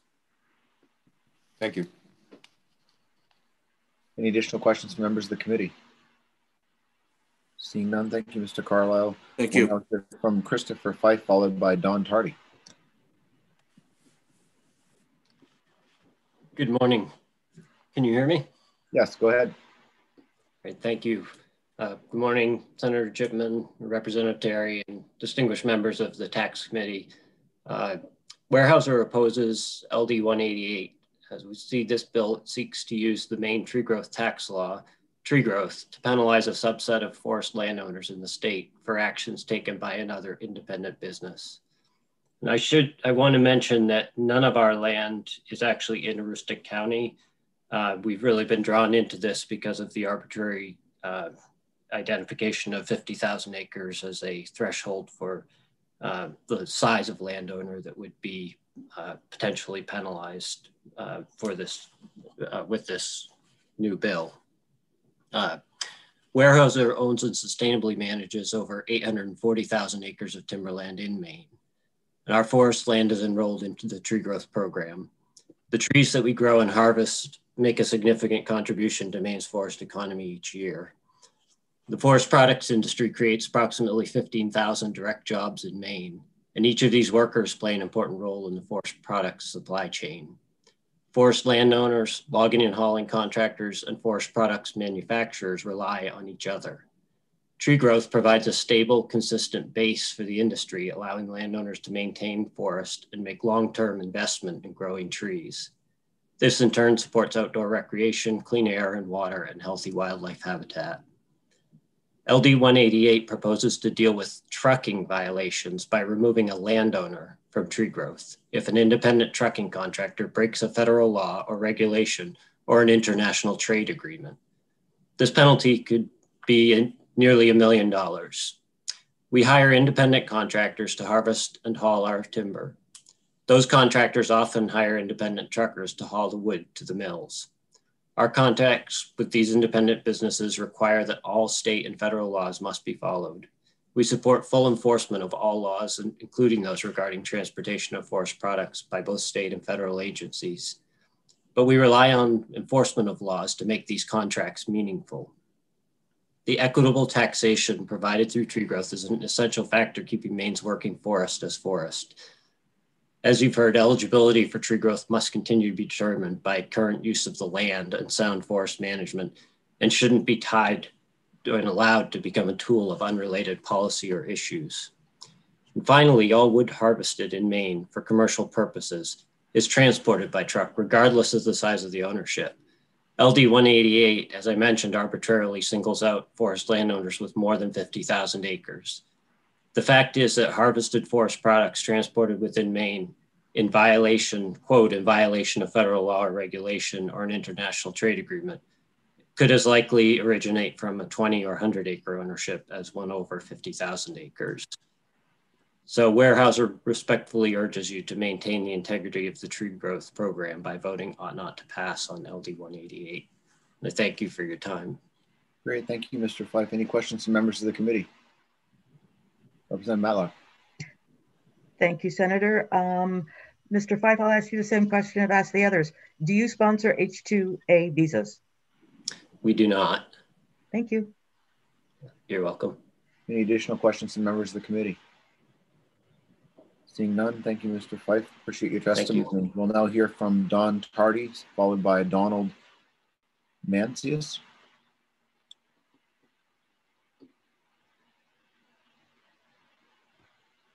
Is Don Tardy uh, ready to present testimony in opposition?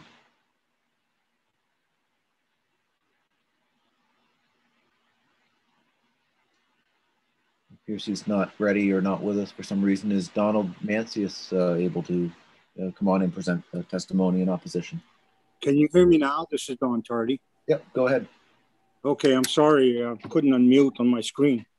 Um, Honorable Senator Ben Chipman, Honorable Representative Maureen Terry, and distinguished members of the Committee on Taxation. My name is Don Tardy and I reside in Ashland. Today I'm offering testimony in opposition to LD 188. I've worked in the forest products industry since 1972. I've been a registered professional forester for all my forestry career. And I've held various forest management positions from manager of logging operations to woodlands to lumber mills, fiber procurement for a major pulp and paper company. And I currently serve as president of the Ashland Area Economic Development Corporation. And this is the primary reason I'm here today. Because late in 2019, Ashland lost its major employer and biggest contributor to the municipal tax base. ReEnergy's biomass electric generator contributed over $453,000 in annual municipal revenues, representing about seven mills to the Ashland base. Prior to losing ReEnergy, Ashland's mill rate was 27. In 2020, Ashland was able to bridge the seven mill impact by exhausting its rainy day fund. The Board of Selectmen are desperately trying to find solutions to bridge the gap for 2021 with little success. The only real solution for our community is to encourage investors to come to Ashland. Our Economic Development Corporation is hard at work to obtain industrial property and market our community for the great forest resources we have around us. My primary concern with LD 188, if enacted, is that it has the potential to upset our whole ownership structure of the North Maine Woods. Our forest landowners, loggers, and wood processing mills are the backbone of the Route 11 corridor in Aroostook County. Any upset situation resulting in changes to these, our three-legged economic stool will have a dire impact on our region. The resulting impact will also weigh heavily on our ability to attract investors to our region as the sustainability of fiber supply will be seriously questioned. My second concern with LD 188 is since the inception of tree growth tax law in 1969, it has been the favorite punching bag for many who have an axe to grind with the forest products industry. Tree growth is the most progressive forest taxation law in the country. Many states I've had the good fortune to work in envy Maine's tree growth tax law. We can attribute Maine's current forest inventory and solid base of private landowners, small and large, to tree growth. It has served our state extremely well for over 50 years. So why do we have to change it now? My final concern is that bonded and visa labor has been within the fabric of Maine's woods labor force since I can remember. Today, the numbers diminished to a handful from the great numbers that were needed to salvage the timber resulting from budworm infestation in the 60s and 70s. Through the history of the Canadian Labor Program, there has been complaints on a number of occasions without significant findings. If there are significant abuses, let's have the federal government investigate our own program or its own program so we can deal with facts rather than anecdotal comments. Why should we risk, the whole economic infrastructure of our force without facts? Our own State Department of Labor has conducted its, their own investigation without findings. Are we destined to continue chasing ghosts on the program, or should we get the facts and act accordingly? I respectfully ask you to support our forest industry and vote ought not to pass 1LD 188. Great, thank you, Mr. Tardy. Are there any questions from members of the committee? Seeing none, appreciate you being with us uh, today. We'll now hear from Donald Mansius, followed by Hannah Stevens. And for those that are um, presenting testimony today, please um, know that you'll need to start your video if you're going to present to us um, with video and also unmute yourself for the audio. Um, is uh, Donald Mansius with us? Uh, Senator, I am uh, speaking neither for nor against today, so oh. I, I, can wait my turn. Yeah, okay. Well, we had you down as speaking and, and against. I'm not sure why that is, but we'll we'll uh, come back to you when we get to neither for nor against. Appreciate you. Thank, thank you, sir. Uh, so is Hannah Stevens with us to speak in opposition to this bill? Yes, I am. Welcome. Hi, thank you. Um, let me just get my screen here. Uh, Senator Chipman, Representative Terry, and distinguished members of the Taxation Committee, I am Hannah Stevens, a resident of Glenburn and Land Use Director of Seven Islands Land Company. I'm speaking in opposition to LD 188. Seven Islands Land Company manages approximately 820,000 acres of family owned commercial timberland in Maine, the majority of which is enrolled in tree growth. And I want to point out that in 1973, parcels of timberland over 500 acres in size were automatically enrolled in the program per law, whose purpose is to serve the public interest by encourage forest landowners to retain and improve their holdings of forest lands, and to promote better forest management by appropriate tax measures in order to protect the unique and econ unique economic and recreational resource. It's been successful in achieving this goal and is still an important component of forest conservation in the state. It's arguably one of the most successful in the country and will be increasingly important in the future as the state and nation look to forests as a natural climate change solution. According to the bill's proposed language, in the event of a violation of federal transportation laws by companies or individuals that transport forest products, this bill seeks to penalize large landowners with a mandatory withdrawal from the tree growth tax program. Um, most companies that do the work of transporting forest products are independent contractors and not employees of the landowner or land manager. As such, the only source of influence or recourse the landowner or land manager has is through our contracts with the independent contractors. And like others, our contracts are explicit in the requirement that federal and state laws must be followed, including those dealing with bonded labor, such as those under the H-2A worker program. Um, under this program, it is legal for a Canadian driver to pick up a load of logs in Maine and deliver it elsewhere in Maine. Hence, why would drivers um, endeavor to undergo the rigorous process to obtain H-2A visas rather than operate as a B1 driver where point-to-point deliveries in the US are prohibited? Um, the financial penalties incurred by landowners in a mandatory withdrawal from the program, as, in, as is contemplated by this bill, would constitute a consequence far in excess of the violation. Further, such egregious use of the tax policy to enforce a labor related matter represents a very poor precedent and a jeopardization of the stability and benefit of this program um, that this program has provided to the state. There are already existing procedures in place to deal with violations of federal or state labor laws, making this bill unnecessary at best and at worst, a short sighted, harmful, and unprotected attempt to once again link the tree growth tax law to an unrelated and non-existent issue. Therefore, I urge you to vote ought not to pass on LD 188. Thank you for your consideration. Great, thank you, Ms. Stevens. Are there questions from members of the committee? Representative Matlock. Thank you, Senator. Mm-hmm. Ms. Stevens, I note that you do have folks, you do sponsor H-2A visas with your company? We do not. Um, we contract uh, with a contractor who does have H2A drivers under their employment. Um, what we do is provide a letter to the uh, contractor that this is what how much we'll be hauling so that they can petition to get those workers. So it's a it's a contractor to provide visas, or is it a it's is a, it a, it's a truck, trucking it's a company? Truck, it's a trucking company, correct? and and they have to go through the process of um, you know proving that there aren't all the re- requirements of the h2a program proving that they cannot find american workers et cetera um, in order to hire h2a drivers Okay. Um, so this is a trucking company and the trucking company doesn't own any, any forest lands or anything like that. correct correct we're not a trucking company we're a land management company we yeah. manage for the landowner. Ah, thank you very much. Great. Uh, any additional questions from members of the committee? Um, seeing none, we will now, uh, thank you very much for your testimony, Ms. Stevens, appreciate it. Um, we'll now hear from John Cashwell, followed by Patrick Strauch.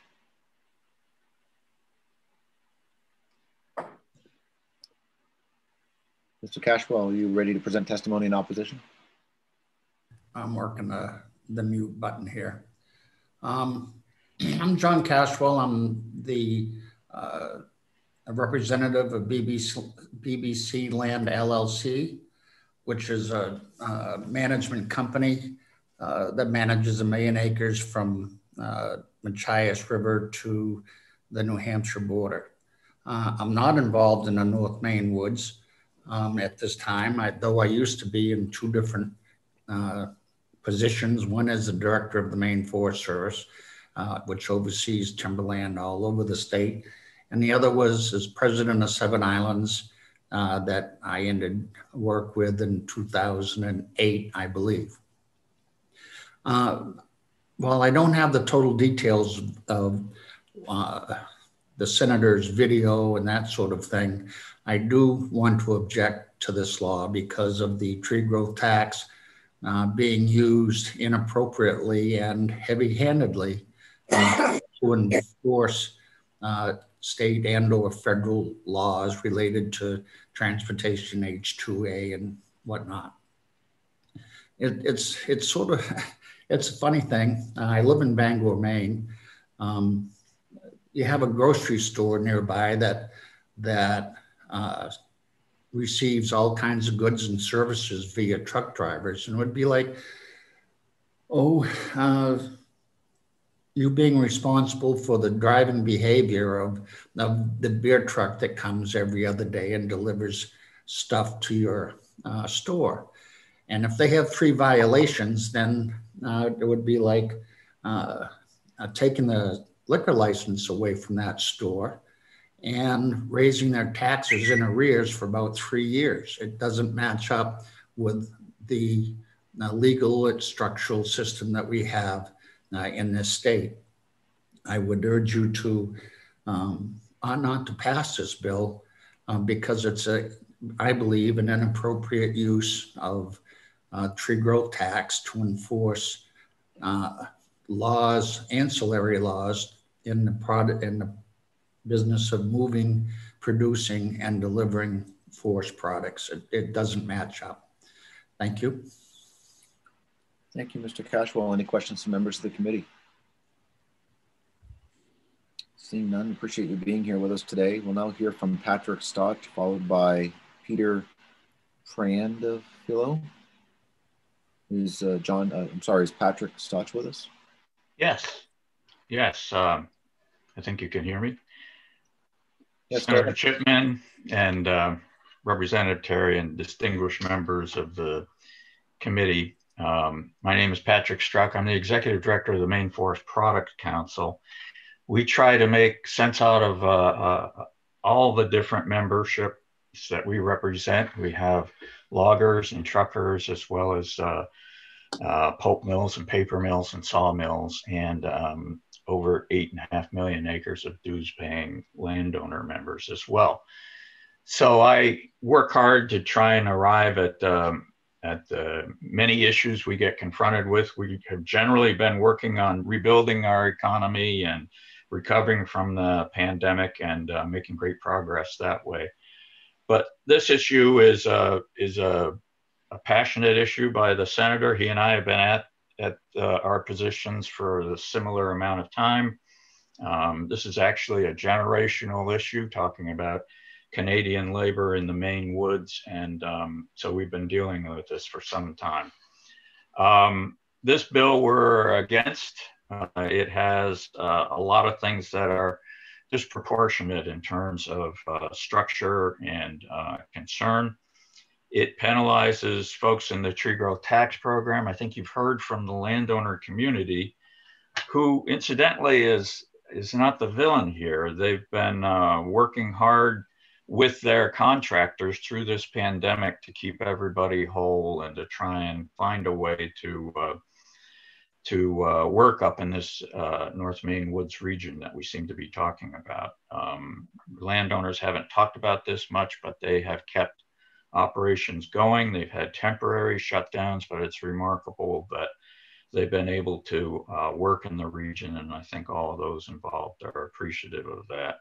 Um, the tree growth penalty, you've heard a number of reasons why we're against that. Um, it's not connected directly to the issue. Uh, it discriminates and against an entire class of landowners. When you start separating tax policy into size classes of landowners, you begin to uh, violate some principles of taxation.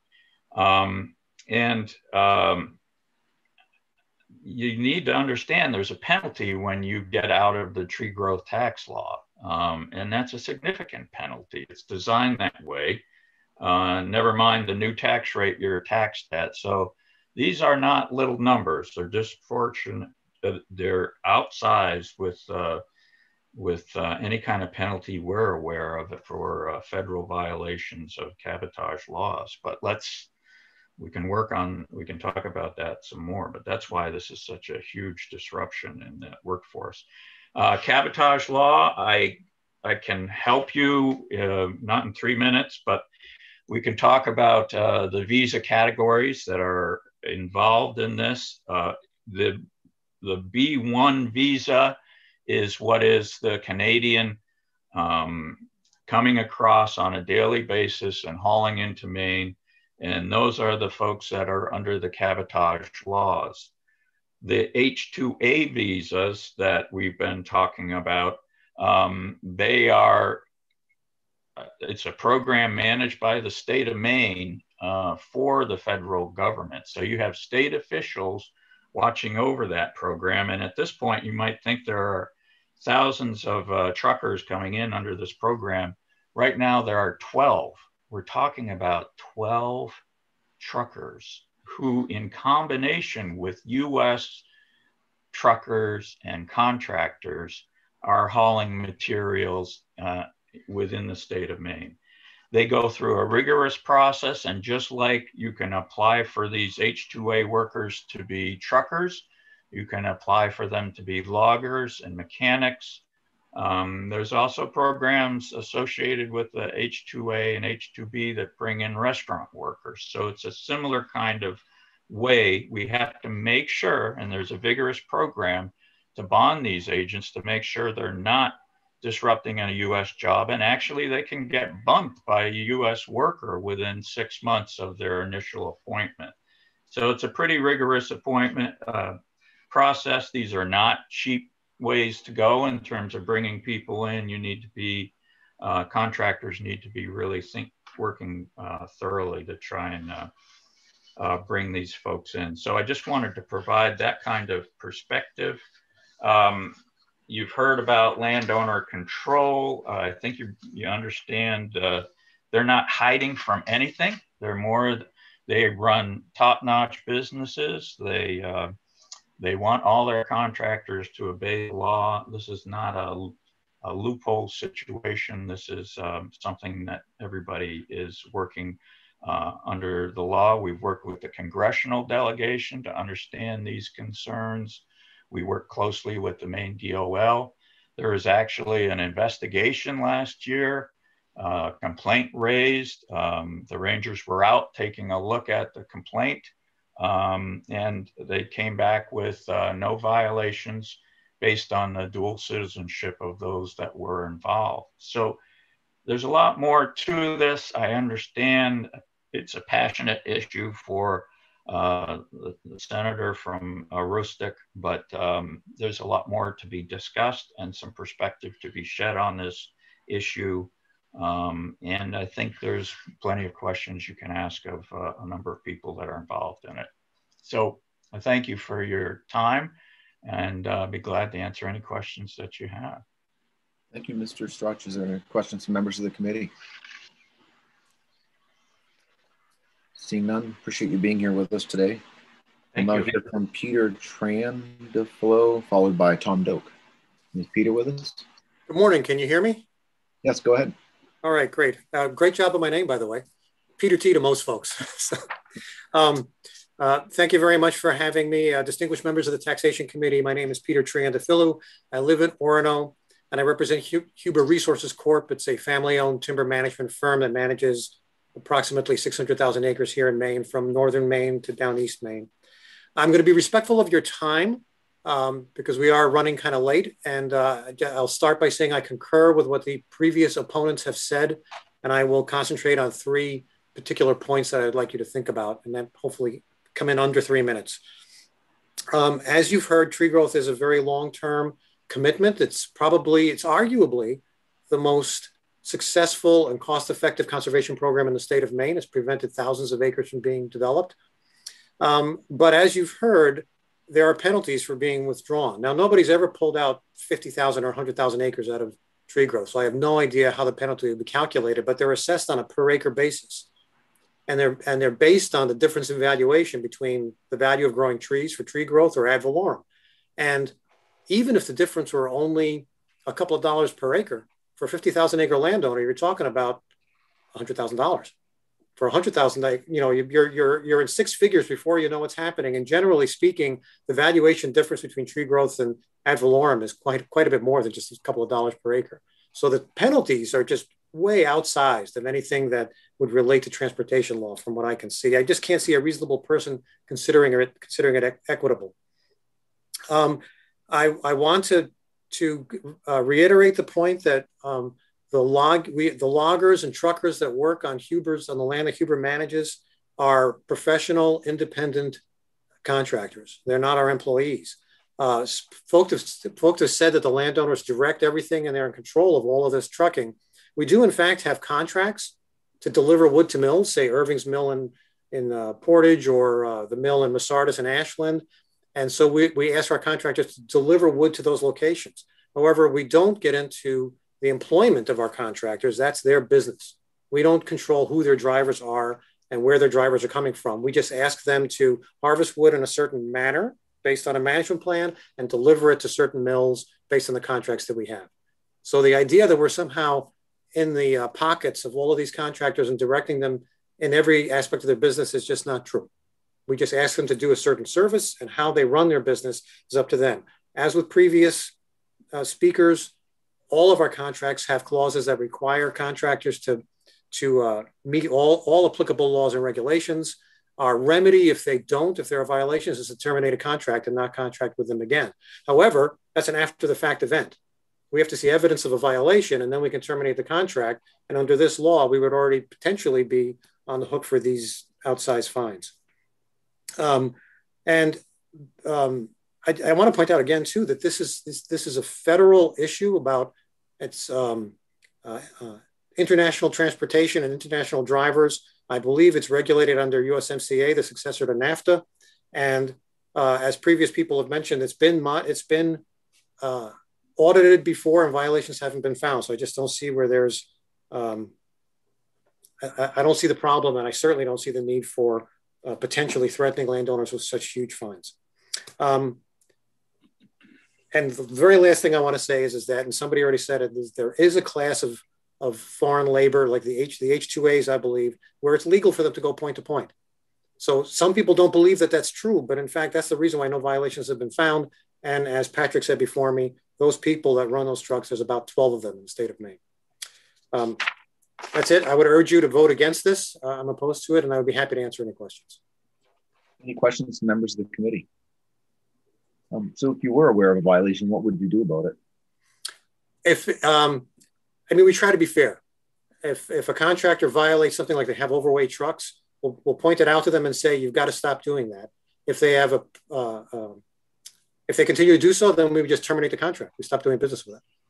We have every right to terminate a contract, regardless of how far along we are in, in a job, uh, if the contractor is not obeying the laws of the state of Maine or the federal government. So that, that's our, our sole remedy is to cease doing business with them. Right, I understand that, but if you're getting a substantial tax break under tree growth from the state of Maine, do you think there's some obligation to report violations to the proper authorities if you're aware of them? Uh, we depend on the authorities to to um, to tell us of violations. We're not we're not an enforcement agency. you know, we could be opening ourselves. I would think we could be opening ourselves up to some to legal consequences if we accuse contractors of breaking the law. So if, if, if they broke cabotage laws and we were informed that the Department of Labor or the federal government was fining them for violating laws, then we, we would exercise our right to terminate the contract. No, I understand that, but if you were aware of violations that were going on and nothing was done by state or federal authorities about it because maybe they didn't know, there's no investigation, but you were aware of it, um, in addition to terminating the contract, don't you, don't you feel like you have some kind of obligation to report those violations since you are getting a, a, a substantial tax break from the state of Maine to being in tree growth? Uh, is there some obligation on the on your part to report any violations like that in addition to now, that, that, that's a good question senator chipman. I, I, don't i really can't answer it. The only time we've exercised that clause was for overweight trucks. Truckers some truckers have difficulty staying within that rule and if, if we see more than a few, we'll tell we you know we give them warning, and that's that's a fairly clear thing. It's weight. It's pretty obvious whether they're in, obeying or not versus labor laws and cabotage, which most of us don't understand. So the only one we've ever done is overweight trucks, and we didn't turn them in to the police because by that time it's only our record and the trucks are gone. We just stopped doing business with them. Uh, we have questions from Representative Matlack, I believe was first, followed by Representative Sachs. Thank you. Um, I'm concerned. You you don't know enough about cabotage to worry about it. I expect the contractors that we hire to obey all the laws. They're the experts because they're using the program. That's not my field of expertise. We manage timberlands. Okay. Um, with your with the contracts with your truckers, do you specifically point out cabotage because that has been something that's been of concern recently. Um, so they just provide trucks and you um, you don't make any requirements that they be allowed to go between um, uh, facilities within the state of Maine. Our, our, contracts our contracts specify that they have to obey all laws and regulations. We don't we don't ah. itemize them out. They have to obey ah. all laws and regulations. Okay, thank you. Representative Sachs. Thank you very much, Mr. Chair. So, Mr. T, I would um, ask a sort of complementary question to my that my colleague did. We've just heard repeatedly that landowners are stating that we require in our contracts to that they follow all state and federal laws. However, you don't in, have any enforcement whatsoever that you just stated. You would only find that out through a Department of Labor, federal Department of Labor. You don't check trip tickets or anything like that that we were brought evidence of? Um, we, we see them all. And if something looks fishy, we'll, we'll go after it. We just never have had that situation. Um, I, let me put myself in the position of, of, of, a contractor that's doing work with, with my company. If, if my company, if, if I'm accused of breaking the law, I say, well, prove it you know, I mean, you're not the police and you're not the law enforcement agency. So well, that know, was my have, question regarding your trip tickets. So I'm assuming you issue trip tickets that that your contractor, and do you review them? Of course we do. Yes. Yes. And so, so like that said, would be some, the proof. That would be the evidence, and you're saying you've never seen evidence of that. But if you did, you wouldn't wait for a Department of Labor that you would go ahead and enforce that. I, I am not sure how we would handle that, quite frankly. This never happened. And, and we're very careful about not being enforcing agents. We can terminate a contract, we can stop doing business with somebody, but we're not enforcing agents. Hmm. I guess I, I, would have some concerns only because we've heard that repeatedly that you should not penalize us because we have this clause within our contract that states you must follow them. However, we do nothing to your point, to actually determine that. You're just resting. And then you just said, well, then have them prove it. You have the means to do that through these trip tickets. The trip ticket doesn't say whether a particular driver is an H2A or a B1. I've, I have no way of knowing that from the trip ticket. The, the, the Maine Forest Service, if they're auditing, can go further. But I just have the trip ticket. It shows where the wood came from, where it went, who the trucker was, but whether that trucker has got the appropriate, the, the contractor is the one who makes sure that they have the appropriate and and the legal trip tickets that we have don't list that information. Not that I've ever seen. Hmm. Thank you for your answers. Any additional I'm to do my best. Any additional questions from members of the committee? Seeing none, thank you for being with us. Thank you um, for having me. We'll now hear from uh, Tom Doak in opposition, and then we will move to testimony from those neither for nor against, um, starting with Donald uh, Mansius.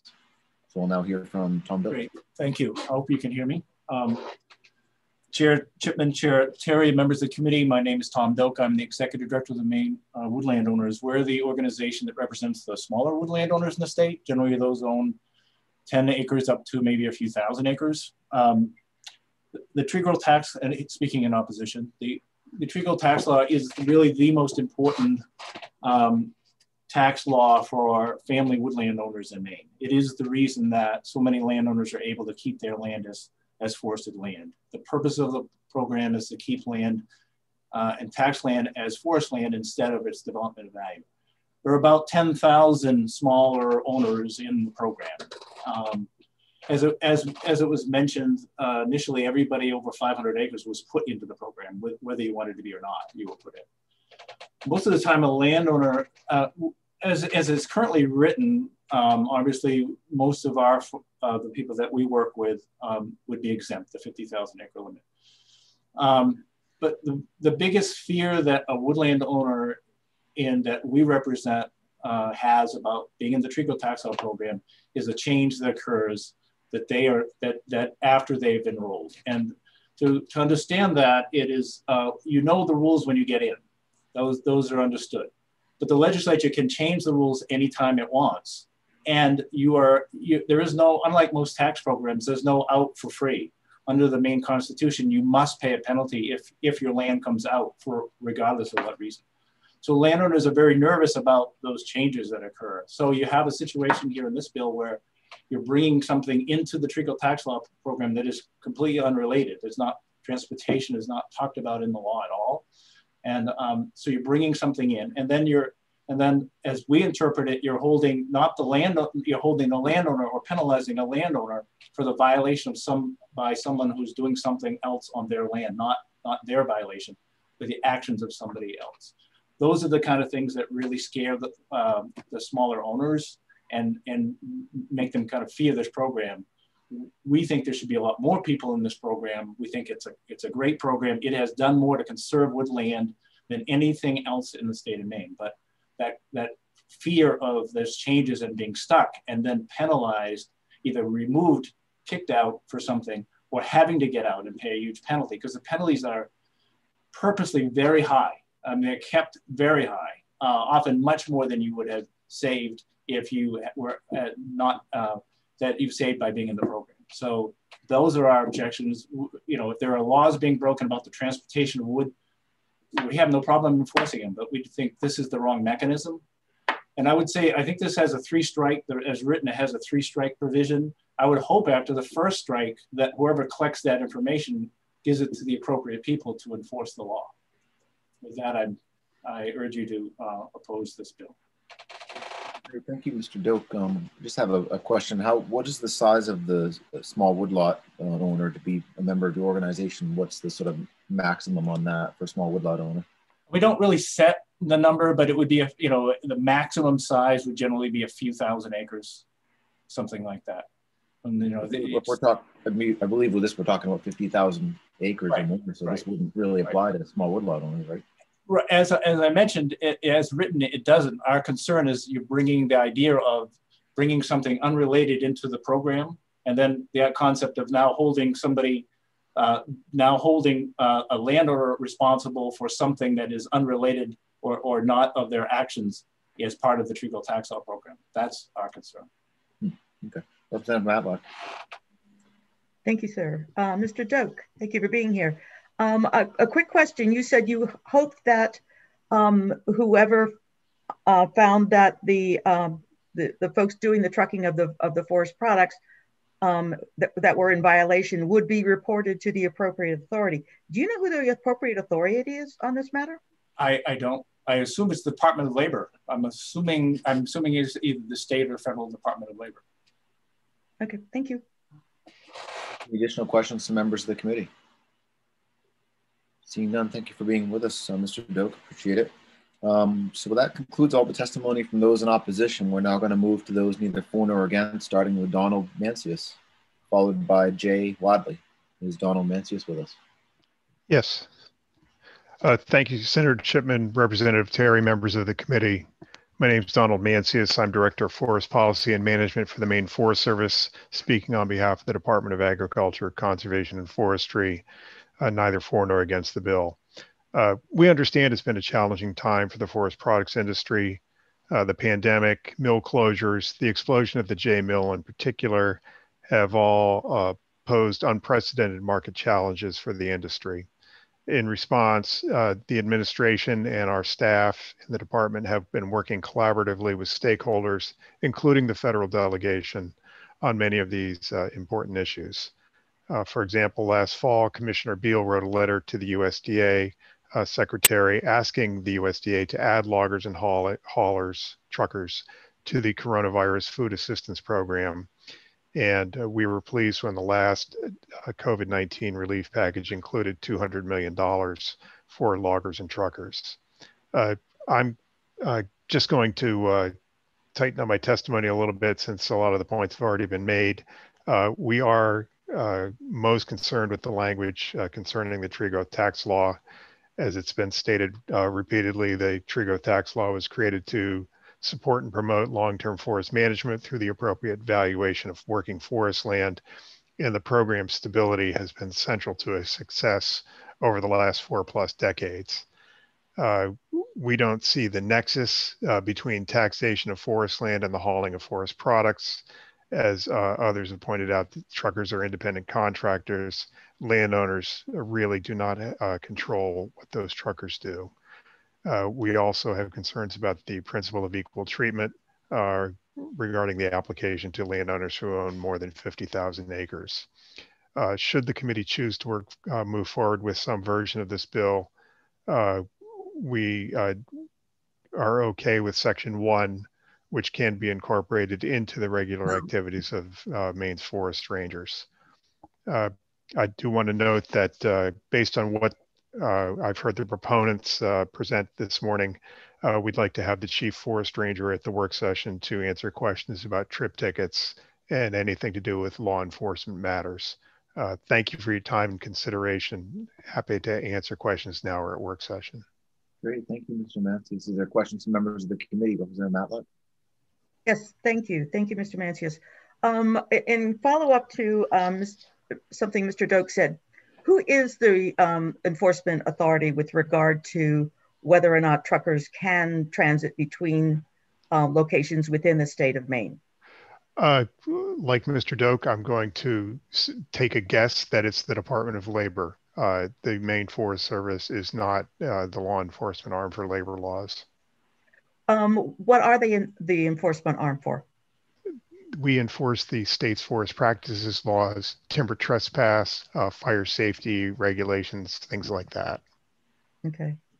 Um, and what would what would Section One add to um, the the uh, amendments that uh, Senator Jackson proposes in Section One? What would they add to the uh, enforcement authority of the Warren wardens? It, it uh, right now, the existing law allows uh, forest rangers to uh, obtain uh, copies of trip tickets from the truck drivers. This would add the owners or managers of log mills and log yards. Uh, and uh, that so that basically it, it allows them to go to the mill or the log yard and, and ask for the trip tickets as opposed okay. to just asking the trucker. Okay, thank you very much. Representative Terry. Uh, thank you, Mr. Chair, and thank you, Mr. Mansius. Would you, since you are returning and, and the Forestry is coming to the work session, could you check in with the DOL to see if they are, um, in fact, the uh, proper enforcement, I guess? Um, yes. Uh, or, you know, uh, you're welcome to invite them to attend with you. We'll, we'll happily listen to them as well. Thank you. Thank you. Any additional questions to members of the committee? Seeing none, thank you, Mr. Mansius. Appreciate you uh, being with us today. Uh, so that concludes, uh, actually, so now we're in the for nor against. We've got two more speakers. Um, we'll now hear from Jay Wadley, followed by Melinda Bouchard. Uh, not quite good afternoon, we're getting close, but uh, my name's uh, Jay Wadley, Senator Chapman, Representative Terry, members of the committee. Thank you for your time. Uh, I'm a former member of the Maine Citizen Trade Policy Commission, uh, and I represented workers on that board. Canada does a real good job of protecting its workers. Um, we could spend a lot of time talking about the rules they have and how they protect them, but they do a good job. And we have rules that prohibit point to point. Um, I know that's been a bit of a discussion among the landowners who said H2A is okay. If they're correct and H2A is okay, then they shouldn't have to worry about any violations coming from that because um, the penalties only happen the way I read it if there's a violation of law. So if what they're doing is legal, then they have nothing to worry about. Um, but it seems that the federal government's reluctant to expend the resources on enforcement. Maybe they don't have them. Uh, I know it's been kicked around from different who, who does enforce it. Um, everybody from ICE to Department of Labor. Um, but if we want fair trade and we want to protect Maine workers, we need to take some action. If you can't count on the federal government to do it, we got to do something ourselves as a state. 30 years ago, uh, landowners like Great Northern, IP, and Irving, they all had employees, thousands of employees. They wanted to change those over to be independent contractors. And when they did that, they got to shed their health care, they got to shed their pensions, they got to shed all of that. Um, but we can't let them shed responsibilities for law, law violations. So if if they're still ultimately responsible for laws being violated on their behalf, be it they're independent contractors or not, We need to do something about it. And there is the three strike rule in there. So if, like Mr. Carlisle said, and a couple of the other ones, if they see a violation and they fire the guy, uh, how many contractors out there are going to continue to violate if they know the result is they'll be fired? So number one, there actually has to be a violation, and if H2A isn't, then there's nothing to worry about. Number two, if they do take care of their people and they fire them, they'll never get to a third violation. Um, so I'm in I'm in favor of anything that promotes fair trade, and that's what I'm looking for here. Um, this bill may do it. It may need to be more severe. Maybe the penalty should be longer. So that's why I'm speaking neither for nor against. But we do have to do something to promote fair trade between between uh, the Canadians and ourselves. Great, thank you, Mr. Wadley. Is there questions from members of the committee? I don't see any. Uh, thank you for being with us today. Appreciate your testimony. We'll now hear from Melinda um, Boucher, Boucher from Fort Kent. Yeah, Boucher. Uh, do you guys hear me? Yep, we can hear you. Go ahead. Okay. Uh, Senator Chipman, Representative Terry, and distinguished members of the Taxation Committee, it has come to my attention that there is another bill, LD 188, this session targeting H2A employees and employers utilizing this program. I am an H2A processing agent for Northridge Services doing business as Louis Company in Fort Kent. And for eight years now have been working hand in hand with these employers to ensure all federal and state regulations are followed. The H2A process is without a doubt not an easy process for these employers. It is time sensitive and quite an intense process with no guarantee for these employers that they will be getting an I-94 DHS arrival department record issued to aliens who are admitted to the US by USCIS for the employees they need. There are at this time nine employers utilizing the H2A program, requesting 95 workers in which not all positions are, are occupied. These companies are located in northern Aroostook County to western Somerset County. Employers utilizing this program are in remote locations where laborers are simply not close to the work sites or just don't want to work based on the job requirements. The employers are obligated to hire US American workers under all federal regulations. Please note, all employers would hire skilled American workers, but are simply unable to find them despite following all federal requirement regulations. The H2A process is a federally regulated program overseen by the US Department of Labor. Not only do employers have to follow federal regulations, but also have state regulations to abide by. That being said, this program is heavily regulated by USDOL and the Maine Department of Labor. Employers undergoing federal audits almost every year and enforcement of state regulations daily. There are no state nor federal laws violated by these employers. There are there has been inaccurate misinformation targeting the H2A program, which results in stress on these H2A employers. Please note these employers are following all federal and state regulations, are doing and are doing above and beyond what is required of them in order to obtain these certifications. If you have any questions, I'd be happy to answer them. And if you need any information, I'd be pleased to send it. Thank you for your consideration. Thank you, Ms. Boucher. Uh, question from Representative Matlack, followed by Representative Terry. Thank you, Senator, and welcome, uh, Ms. Boucher, to our meeting. Uh, you can answer my questions about H2As. I was um, yes, I was waiting for my turn. great. Um, so, so you say there are there are uh, 95. Uh, is that a number set by the federal government as to how many H2As are available? I, am wondering if it's like the the, the employment of summer workers for yes. local restaurants. Yes. Um, no, the, the H2A program is, is not like the H2B program. The H2B program is, is what they refer to as capped, a cap program. Um, they are only allowing a certain amount of H2Bs um, into US. The H2A program is not, um, it does not have a max or a min. Um, it does not okay. have a, yeah. Yeah. Okay. Um, was, so how do employers need to prove that they cannot get American workers to do the job at um, American wages, or or how do they how do we ensure that American workers aren't being shut out because um, they don't they cannot um, uh, accept a, a, a, low wage like a Canadian worker may or driver may in order to do the job? What is the responsibility of the employer? Yes, um, you hit two, two good points, which I'd also like to hit on.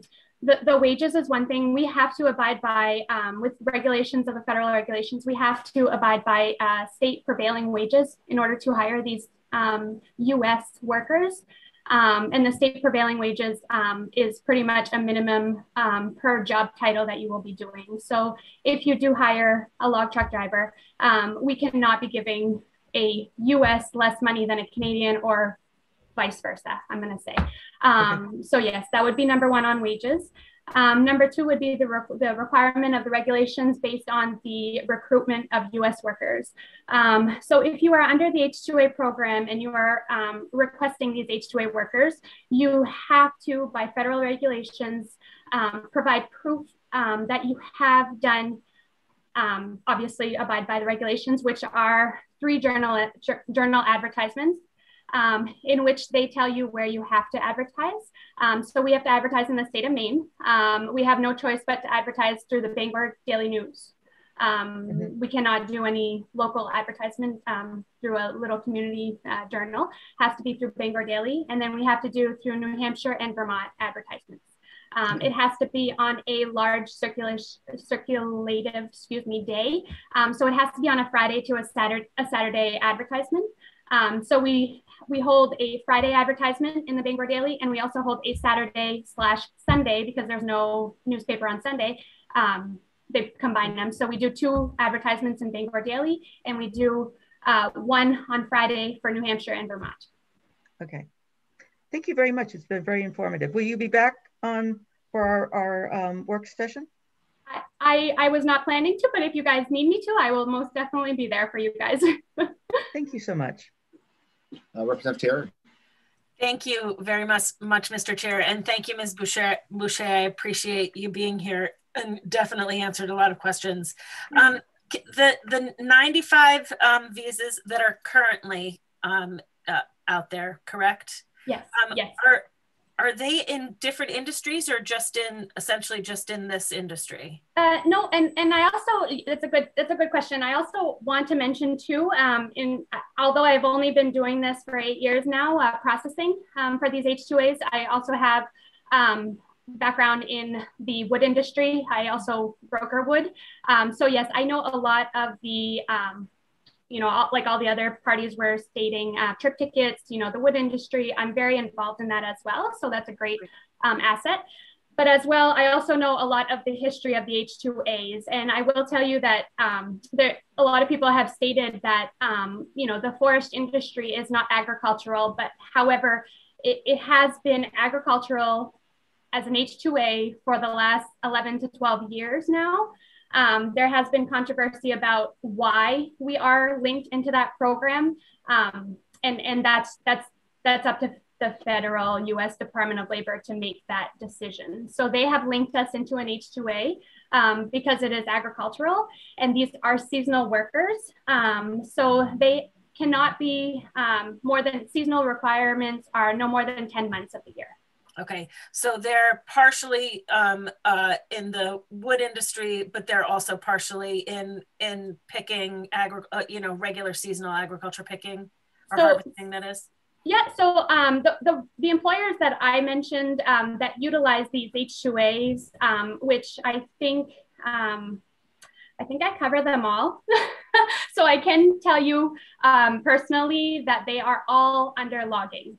Um, the, these classifications are entail um, a feller buncher operator, a processor operator, a grapple skidder operator, a truck driver, a crane, everything that's associated in the logging industry is underneath this H2A program. Okay, okay. Um, and then just um, uh, to follow up on your advertisement for jobs for American yep. workers. So what you're saying is that that someone in say Northern Aroostook County has to get the Bangor Daily News in order to find one of these jobs?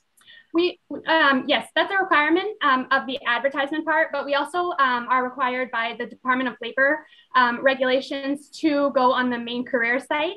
Um, so anyone that has, um, that is filing unemployment yep. actually has that linkage through the Department of Labor's career sites to find these jobs. Yeah, and nothing local though. There's no local. Uh, there's no local advertisement for these jobs.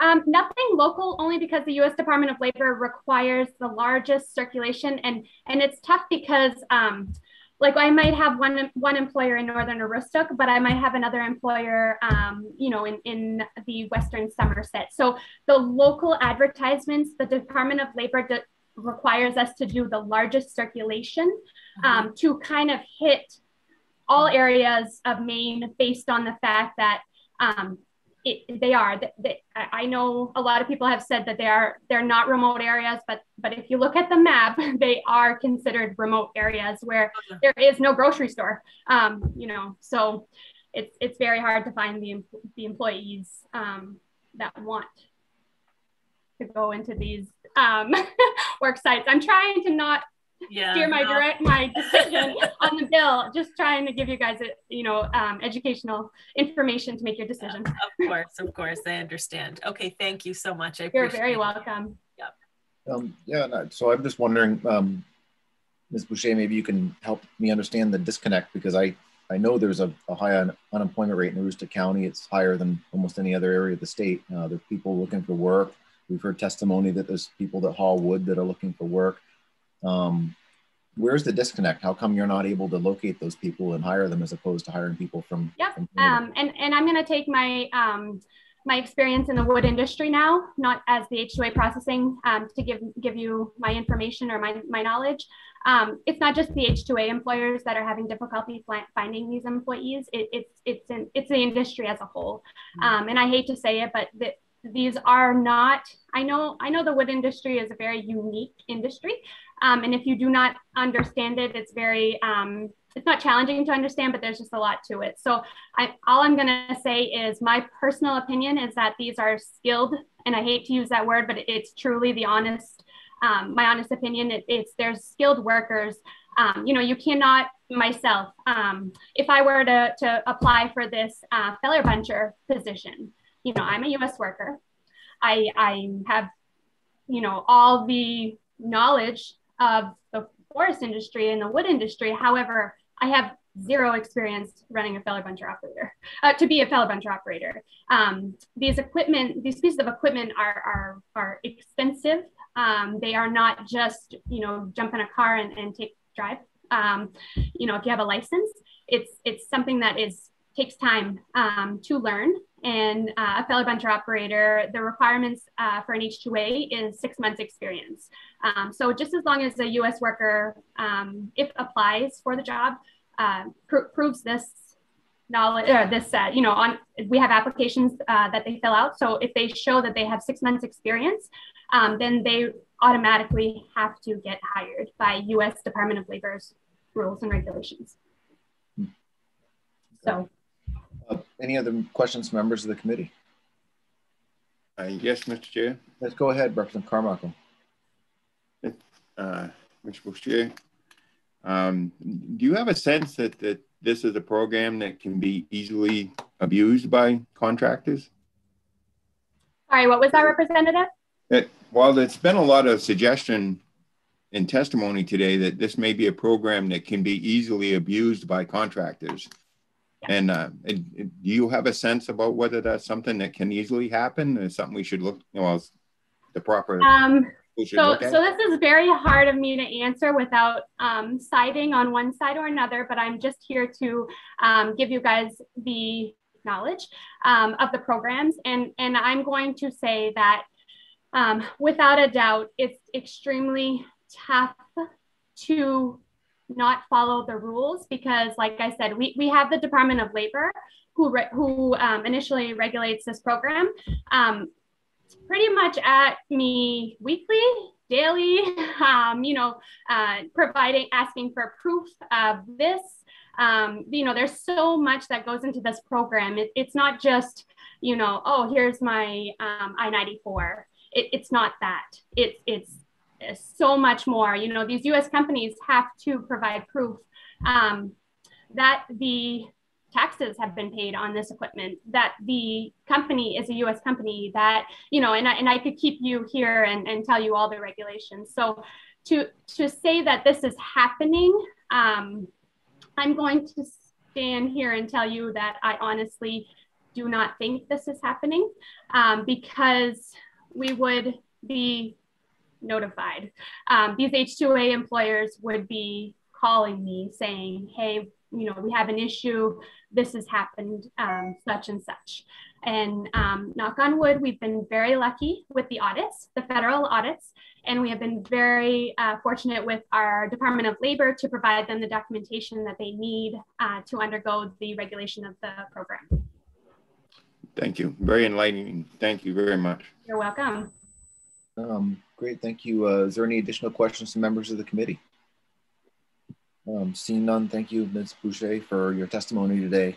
Um, and I believe we have one more person that would like to speak, uh, Mr. D'Alessandro, who didn't get signed up on our list for some reason. But Mr. D'Alessandro, would you like to offer testimony either for or against?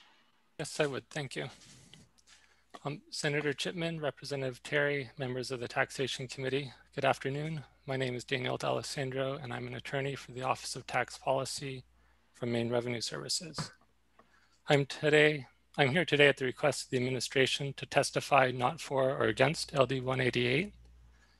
The bill has several issues um, that are unclear and make it not administratable as currently written. In addition, we are unable to de determine the fiscal impact or administrative costs without further clarification, but they could be significant. Um, as the Senate President said, we have met with the sponsor and raised our concerns and appreciate the steps that the sponsor has taken to address those concerns we await uh, amendment language and would appreciate the opportunity to make further comment at that time. The administration looks forward to working with the committee on the bill and representatives from MRS will be here for the work session to provide additional information. Um, I'd be happy to respond to any questions you may have now. Any questions uh, for Mr. D'Alessandro from members of the committee? Um, yes, Representative Carmichael. Yes, thank you, Mr. Chair. Uh, Mr. Distant I can't pronounce your last name, I apologize. Um, I do have a question. Is, is part of the administration's concern with this the enforcement mechanism that the, the sponsors have chosen to put into the bill? Um, so as written, the enforcement mechanism is a little unclear we have a violation by the truck driver, then linked to the landowner, then linked to tax penalties, and then further linked to other state funds and other credits. And so there are details that are missing in that process that make it difficult to envision how it would be administered at this point. But the Senate president did speak to, to changes to the bill to address some of those concerns. So I think I'd like to wait to see that amended language to really get into that. Thank you.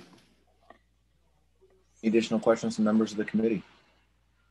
Seeing none, thank you for being with us, Mr. Del Sandro. Appreciate it. Um, thank you. So that concludes the testimony on LD 188. We'll now close the work session on this bill and we will move right into the, um, sorry, the public hearing on this bill and we'll move right into the public hearing on LD 179 that's sponsored by Representative Kessler, who's here to introduce that bill um, for us today.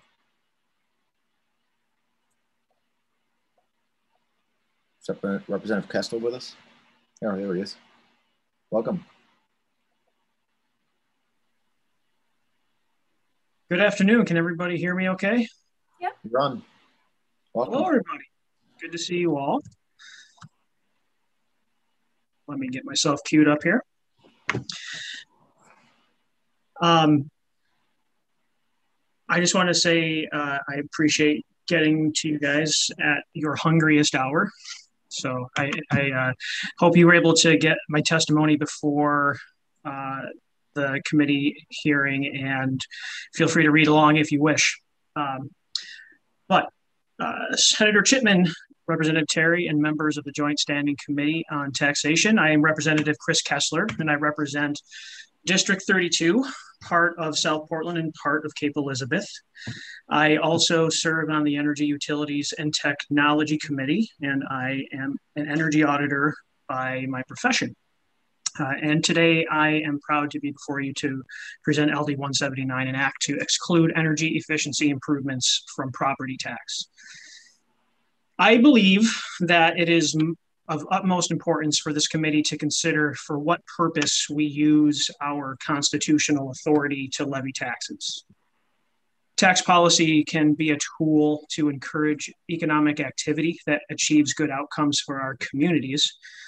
We may afford developers tax credits to set up a business in our community in order to create jobs, or we afford low income households tax credits to give them economic security. When such tax policy is successful, it benefits the entire state. Last session, this committee and the legislature passed LD 1430, an act to create tax equity among renewable energy investments. That legislation was introduced because property tax policy was in direct opposition to the state's renewable energy goals. There was inconsistency in how municipalities assessed solar for property tax purposes. And in some municipalities, the tax assessed was an impediment to development. In all cases, it was viewed as an unfair penalty. Unfortunately, that same problem still exists today for investments in energy efficiency, particularly with ductless heat pumps. Um, and I just have to note that uh, this bill was was really spawned by my my own personal experience when I was looking um, at how much my home was assessed for and had then discovered uh, this situation. So because an outdoor unit for a ductless heat pump is attached to the building, some municipalities have decided to assess a tax on the heat pump as an additional feature values for heat pumps vary across communities if it's included in the valuation at all. In South Portland, an average of $4,600 value is placed on a single zone installation. Our homes and businesses have been converting to heat pumps to lower their heating bills and get off fossil fuels. And the city has thus far assessed over 400 heat pumps. The total assessed value of ductless heat pumps in South Portland is currently around two million one hundred and eighty thousand dollars. Uh, if you are looking at my testimony, I provided an example of what this costs the average homeowner. So, uh, if our mill rate in South Portland it's 1975 per thousand dollars, that that means each home that has just one heat pump uh, pays an additional $90.85 in property taxes. It may be more if they have a larger unit. This begs many questions for me, though. Uh, for example, a person might invest in a heat pump for the same reason they might convert to natural gas and install a Rinnai heater to lower their heating costs and improve comfort in the winter. Or uh, they may have a central AC system, and that may be installed to improve comfort in the summer. The ductless heat pump is assessed a tax as an additional feature, whereas the other two systems are not. How is this equitable treatment? Should, should HVAC equipment be taxed simply because it's more efficient? What does this look like to a low income household that finally was able to invest in efficiency for their home. For simplicity, I provided an apples to apples comparison of the cost of heating a small home with an oil boiler versus a ductless heat pump, assuming a 100% conversion. So 100% of the heating load is covered.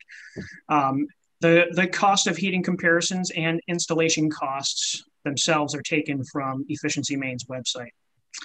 Um, and you'll see with with oil at 180 a gallon as it has been over the fall um, compared to electricity at 17 cents a kilowatt hour uh, that homeowner would would save approximately $171 per year um, if you look further down on the the small table there um, the equipment cost is 3750 uh, Efficiency Maine offers low income rebates for heat pumps uh, at $2,000. So the uh, net install cost is 1,750. However, their savings is cut in half through this uh, uh, assessed tax. Um, so the property tax assessed on the ductless heat pump doubles the payback period for the homeowner well beyond the equipment's life expectancy, which is about 15 years. The intent is to install a heat pump, or the in intent to install a heat pump was to save energy and thus save money. And it's important to note that the cost of oil will fluctuate wildly, and so savings will vary from year to year, but it begs the question is this fair tax policy? It's important to note that five other states exempt energy efficiency improvements Arizona, Maryland, Nevada, New York, and Virginia.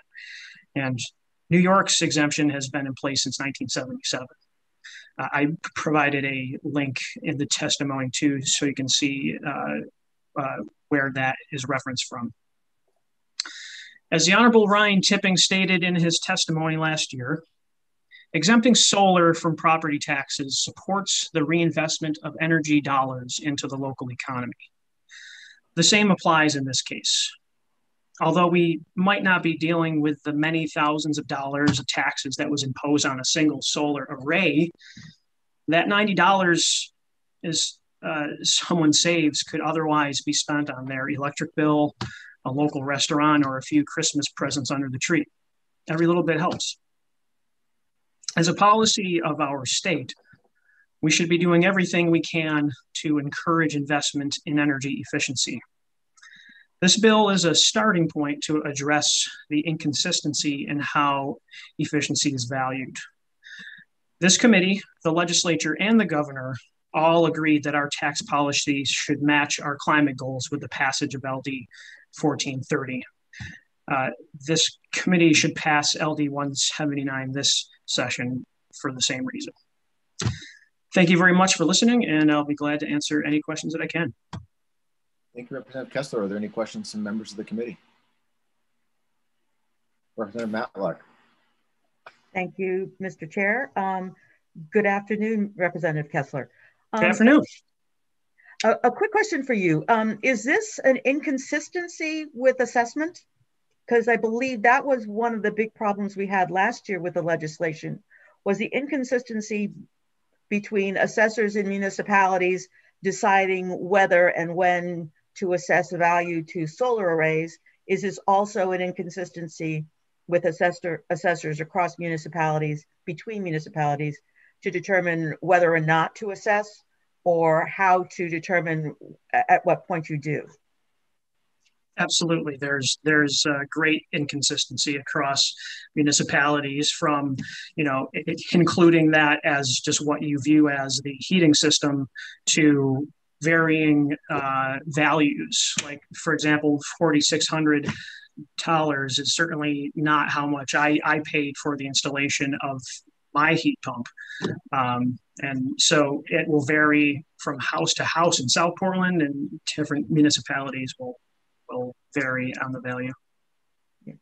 Can I ask another question? Uh, with regard to air conditioning units, are they generally internal or do they have external pieces and that's um, a tax, it's taxable because you can see it? Yeah, so um, uh, if you are looking at a central air conditioning system, yes, there there will be a condenser unit on the outside of the house, so you can certainly see that.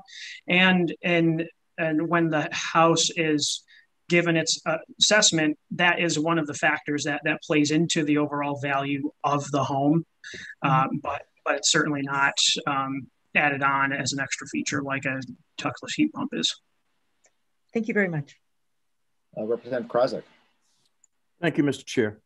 Um, Representative Kessler, I'm assuming that these new taxes are being put on to these heat pumps when they go in to apply for their plumbing permit to put the to do the new installation. I, I not guessing that there's a assessor going to everybody's house to see if they have one in their backyard or not. Is is that what's happening in your district?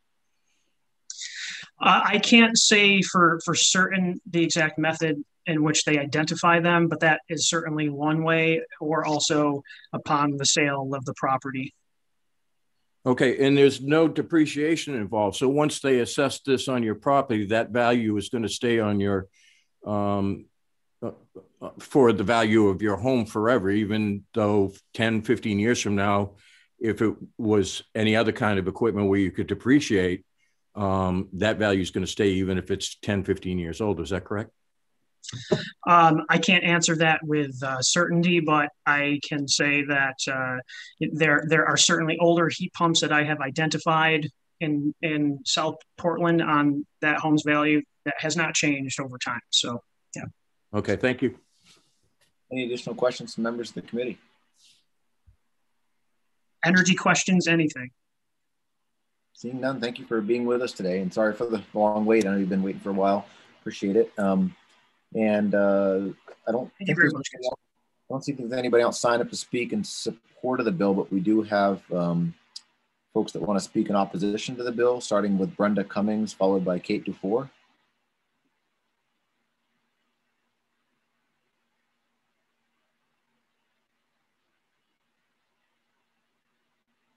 Brenda Cummings with us?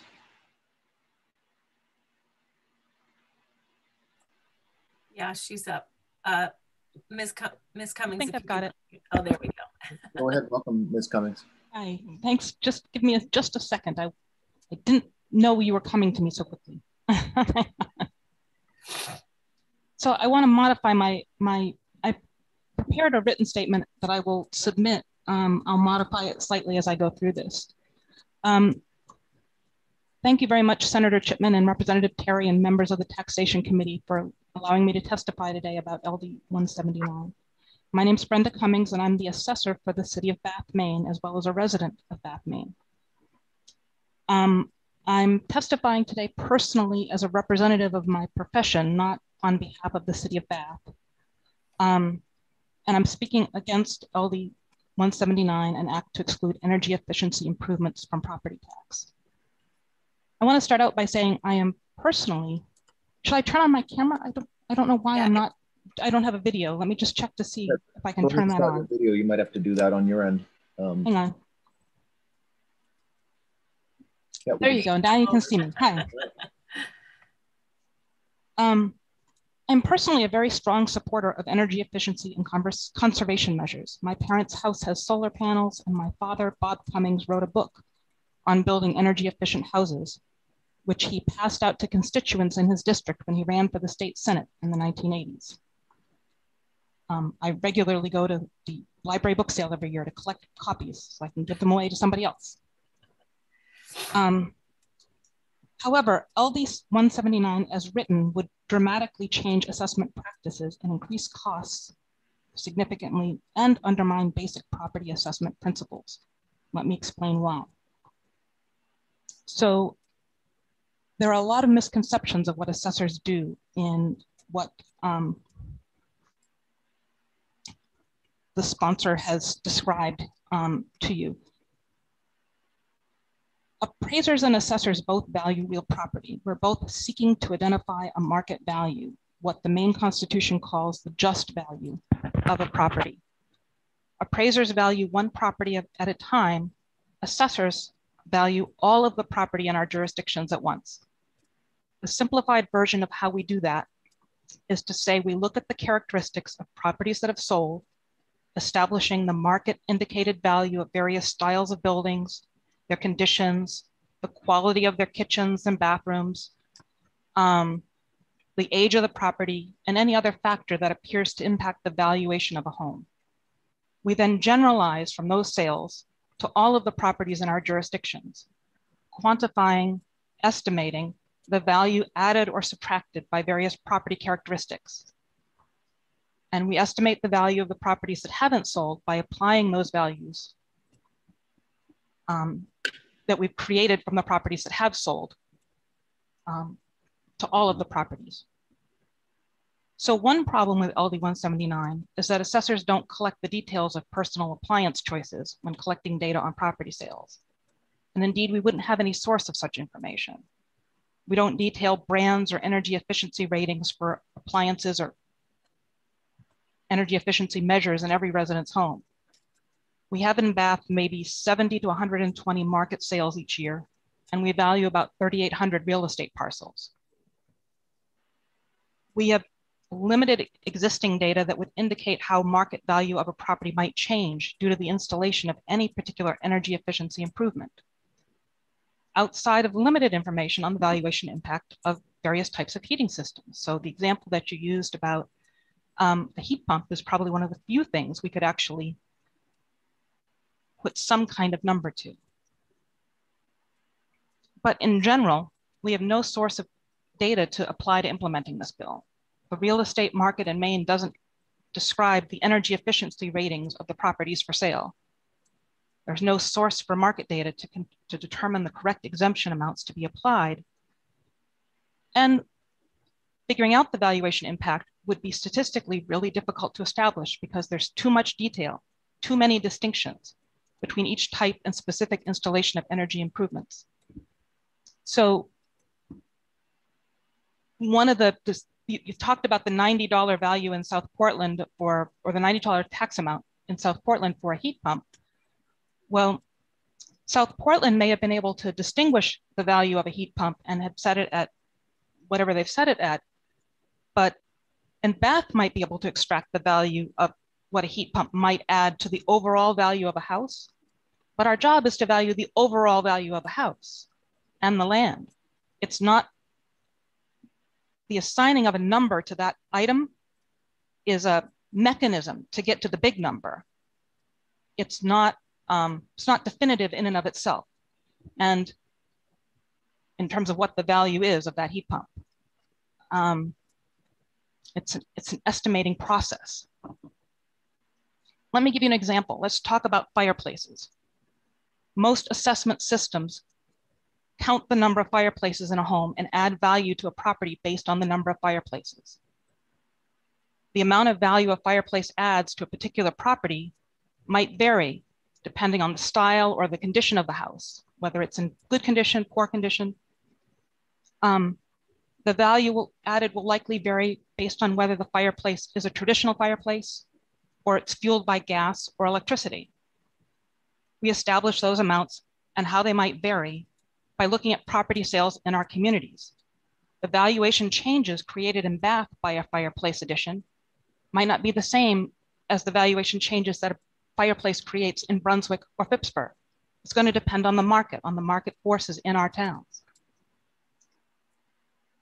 But it would be extremely difficult to quantify the valuation differences between one brand of electric fireplace or another, or the difference between the valuation between one with a two foot opening versus a three foot opening. And Ms. Cummings, could you give us a final thought? We do try to ask people to stick to three minutes if we could. And we're, we're well over that now. Really? Wow, sorry. Um,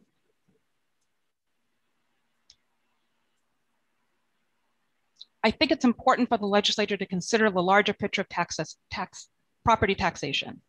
Um, we are required to implement Article 9, Section 8, which states all of the Constitution, which states all taxes on real and personal estate shall be apportioned and assessed equally according to the just value thereof.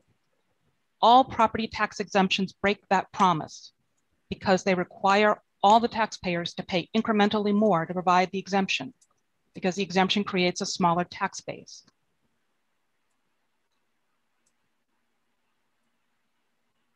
unless the legislature fully reimburses that exemption,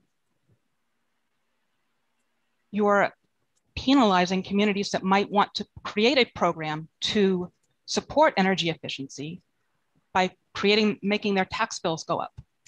Um, I applaud the legislature's interest in promoting energy efficiency, but there are other methods of providing tax breaks and incentives for energy efficiency that spread the impact of those tax breaks more fairly like creating the income tax or sales tax exemption um, for energy efficiency improvements. Those would be much, much easier to quantify and implement than a property tax exemption. Great. I urge you to rewrite the bill. Great, thank you, Ms. Cummings. Are there any questions from members of the committee? Representative Terry.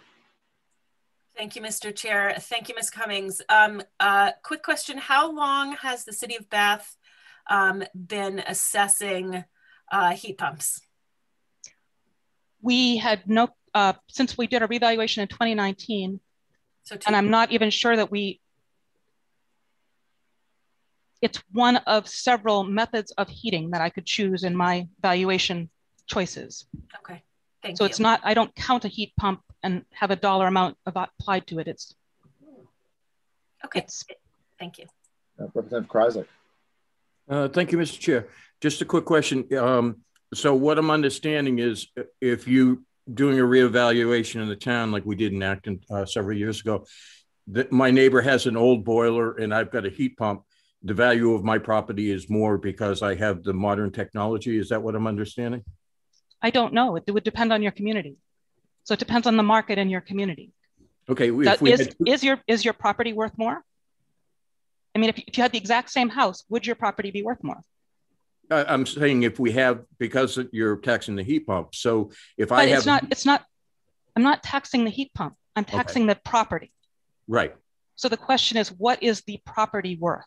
Okay, so if I have more technology if, than the house next door, then the, my property would be valued more. It might be, but it would depend on all of the characteristics of your property. Okay, so if the houses were selling, it's just one factor among many. Okay, so if the houses were selling pretty much the same um, in my neighborhood, having a heat pump is not going to increase the value of my sale. It should not. Okay, that's what I wanted. Thank you. Additional questions, Representative Gramlich. Thank you, Senator. Thank you, Ms. Cummings, for coming. So, just based on what I'm hearing, correct me if I'm if my conclusion is inaccurate. It sounds like there's a great deal of inconsistency amongst assessors and amongst municipalities in terms of whether or not one would include the additional um, home efficiency equipment like a heat pump or not, and to what degree they would include that in, as part of the valuation. Is that act, or am I in the ballpark with that assessment, with that assumption? No, we are. No, I think you're misunderstanding the premise again. We are all seeking to value the property according to its just value and apportioned equitably thereof, right? Just what it says in the Constitution. The property as a whole. To get to that number, we're going to determine locally what the right factors are. It's just a mechanism for getting to what the value is as a whole. It's not, it's, it's not um,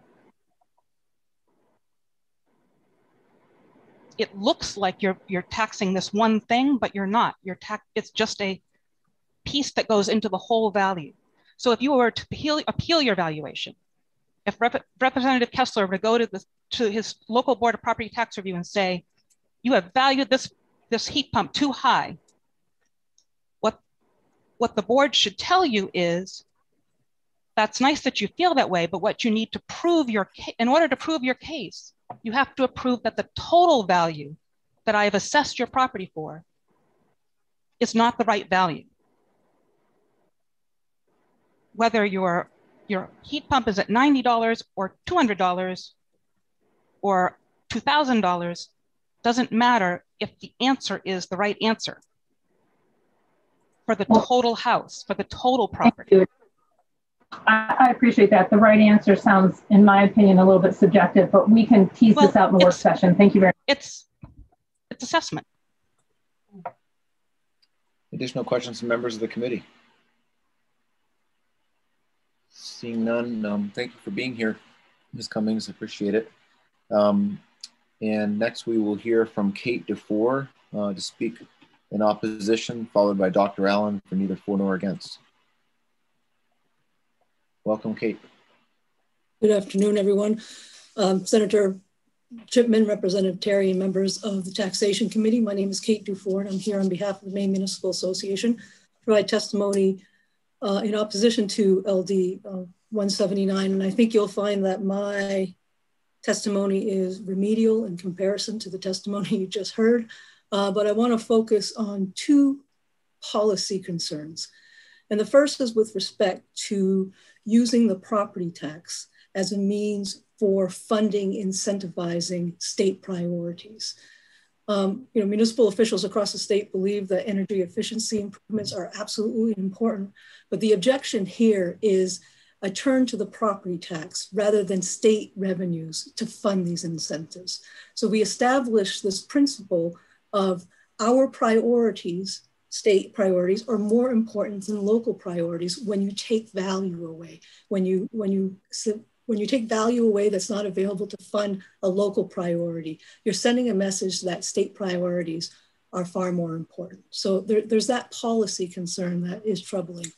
There's another element of the bill that's a bit more troubling, which has to do with assigning this authority to decide what is exempt and what isn't to a quasi organization. So if you read the, if you take a look at the bill, it basically says that the Efficiency Maine Trust is directed to create a list of all exempt properties, qualifying exempt properties, and to inform the municipalities of this responsibility. From our perspective, we don't think that that's good public policy. Because if a third party suddenly gets to decide on its own what is and isn't taxable, we miss out. We miss out on a conversation that we're having today discussing why these exemptions do or don't work.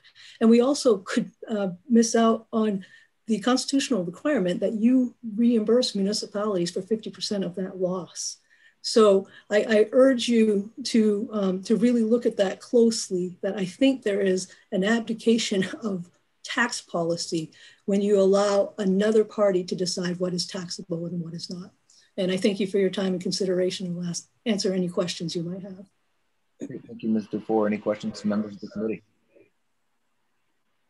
Seeing none, thank you for being here. It's great to, see you again. I don't think we've seen you yet since we started up this year. So thank you.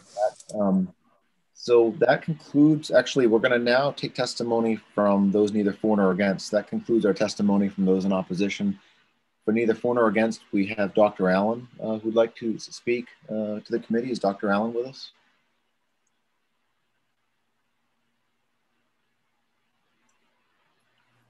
Welcome, Dr. Allen. Good afternoon. Uh, Senator Chipman, Representative Terry, and members of the Taxation Committee. My name is Michael Allen. I'm the Associate Commissioner for Tax Policy in the Department of Administrative Services and I'm here today at the request of the administration to testify neither for nor against LD 179. The bill would require assessors to determine the value added to a property by the eligible energy efficiency improvements. These determinations would be new in kind and scope and administratively challenging. They would require a significant amount of additional work for municipal assessors and Maine revenue services. In addition, this exemption may have a significant impact on taxpayers by restricting revenue sources for municipalities and in a manner effectively increasing the property tax on residents who cannot afford to add energy efficiency improvements to their properties. The administration feels that consideration should be given to the effect this bill would have on further erosion of the property tax base. On a more technical note, the bill leaves open significant issues in the definition of qualified improvements. While a preliminary fiscal estimate is not available at this time, an exemption of this potential magnitude may affect a significant portion of Maine residents and may result in a substantial annual reimbursement by the state to municipalities through the requirements in the Maine Constitution. In addition, this bill would also place a significant additional workload on municipal assessors, requiring, requiring a 90% mandate reimbursement for administrative expenses through the requirement in the Maine Constitution. The preliminary administrative cost of the bill is estimated to be 190,000 to 210,000 to fund two new property appraiser positions at Maine Revenue Services to administer the exemption. If it is the desire of the committee to support this legislation, Maine Revenue Services would like the opportunity to work with the committee to consider a number of changes in order to improve the long-term administration of the program. The administration looks forward to working with the committee on the bill. Representatives from MRS will be here for the work session to provide additional information and respond in detail to the committee's questions. Be happy to answer any questions you may have now. Thank you, Dr. Allen. Is there any questions from members of the committee? Seeing none, um, thank you for being here. Um, thank you for being thank with us today. Um, I don't believe there's anybody else that wants to speak neither for nor against. We will now close the public hearing on LD 179. We will now move to the public hearing for LD 198. At this time, I'm going to uh, pass things over to Representative Terry since I'm the sponsor of this bill. Sounds terrific. Thank you, Senator Chipman. And uh, why don't we hear from Senator Chipman on LD 198? Great. Good afternoon, Representative Terry and colleagues on the Joint Standing Committee on Taxation. As you know, I'm Senator Ben Chipman. I'm here today to present LD 198. This is an act to improve Maine's tax laws by providing a property tax exemption for central labor councils. If you're, uh, we're on this committee last session, you'll know this is a bill that we heard last year and I believe we passed, but uh, it went to the appropriations table and, and died along with many other bills when we abruptly adjourned because of the pandemic. Um, just to refresh your memory, um, this bill seeks to address a parity issue. As it stands now, chambers of commerce, fraternal organizations, and boards of trade receive a property tax exemption. Central labor councils, however, do not. Central labor councils are important civic-minded institutions in their communities. For example, the Eastern Maine Labor Council in Brewer provides a variety of important social services to the community, including running a program to deliver Thanksgiving meals to workers laid off from their jobs. This bill provides a real property tax exemption for real estate and personal property owned and occupied or used solely for their own purposes by central labor councils. I believe that if organizations advocating for the business community, such as chambers of commerce, can receive property tax exemption, then labor councils formed by workers deserve the same benefit. In closing, I thank you for your time and attention today. I know we've been running kind of late. Uh, happy to answer any questions now or at the work session. Thank you. Uh, Representative Krizak. Thank you, Madam Chair. Senator Chipman, do you remember what the vote was uh, the last time? Uh, you know, I don't. I, I, I'm not sure if it was unanimous. I know there, I believe there was some Republican support, if not unanimous, but I, I actually don't recall. Maybe someone else on the committee would, or we can find out from Julie. Um, there was strong support. I just don't know if it was unanimous or not. I don't remember. Okay, thank you. I would be willing to bet that our next um, participant might have the answer to that. Um, any other questions for Senator Chipman? Seeing none. Uh, up next is uh, uh, in favor of the bill, um, Adam Good with the Maine AFL-CIO. Welcome. Good afternoon, uh, Representative Terry and Senator Chipman and members of the committee. Um, my name is Adam Good, Legislative and Political Director with the Maine AFL-CIO. We represent 40,000 working people in the state of Maine, work to improve the lives and working conditions of all working people and testify in support of this bill. Um, I apologize, Representative Krizak, is that the right way to pronounce? Yes. Um, I believe last session, uh, Representative Bickford voted for this bill. Um, can't speak for him right now, but I, I, think that he continues to be supportive of it, at least in concept. Um, and all the Democrats voted for the bill in committee. Um. And a $1,600 fiscal note. Um, and, you know, I don't want to take up a ton of your time. I recognize that I should have some type of tribute to give the committee, which I, I hope that you are keeping uh, a list of IOUs and would love to be added to that list to provide some type of tribute in the future. Right now, you can just see my living room. Um, Central labor councils play a very important role in improving the lives of working families. In Maine, there are four central labor councils. One of them, the Eastern Maine Labor Council, has a physical structure and thus currently pays property tax. Uh, leaders of the Eastern Maine Labor Council are able to share about the services they provide. I know at least Jack McKay is planning to testify. Um, they provide many services to the community in Eastern Maine out of the Solidarity Center located in Brewer. Um, these include a solidarity harvest where they distribute up to 1,400 Thanksgiving baskets, enough to feed over 10,000 people. Uh, they do that every November. It's a giant program that helps you know, mitigate hunger issues and help working families. They have a greenhouse which annually provides seedlings to over 350 families in Bangor and Brewer. Um, they have a, lots of partnerships with faith communities. They do an annual legislative breakfast that many members from the area have attended. They run a hotline to support workers to help gain a voice and fairness at work. Um, and just fundamentally, we see this as a parity issue. Chambers of commerce, boards of trade, fraternal organizations, they all enjoy a property tax exemption. Passing uh, LD 198 would just add central labor councils to that list of organizations receiving the property tax exemption. Uh, and we just think that it's an organization that provides an appropriate balance to the chambers of commerce or other business organizations that currently enjoy a property tax exemption. We think it's only fair that central labor bodies be added to that list. Um, and uh, yeah, I don't don't have a lot else. That is a very small fiscal note. I know that MMA is is on this Zoom meeting.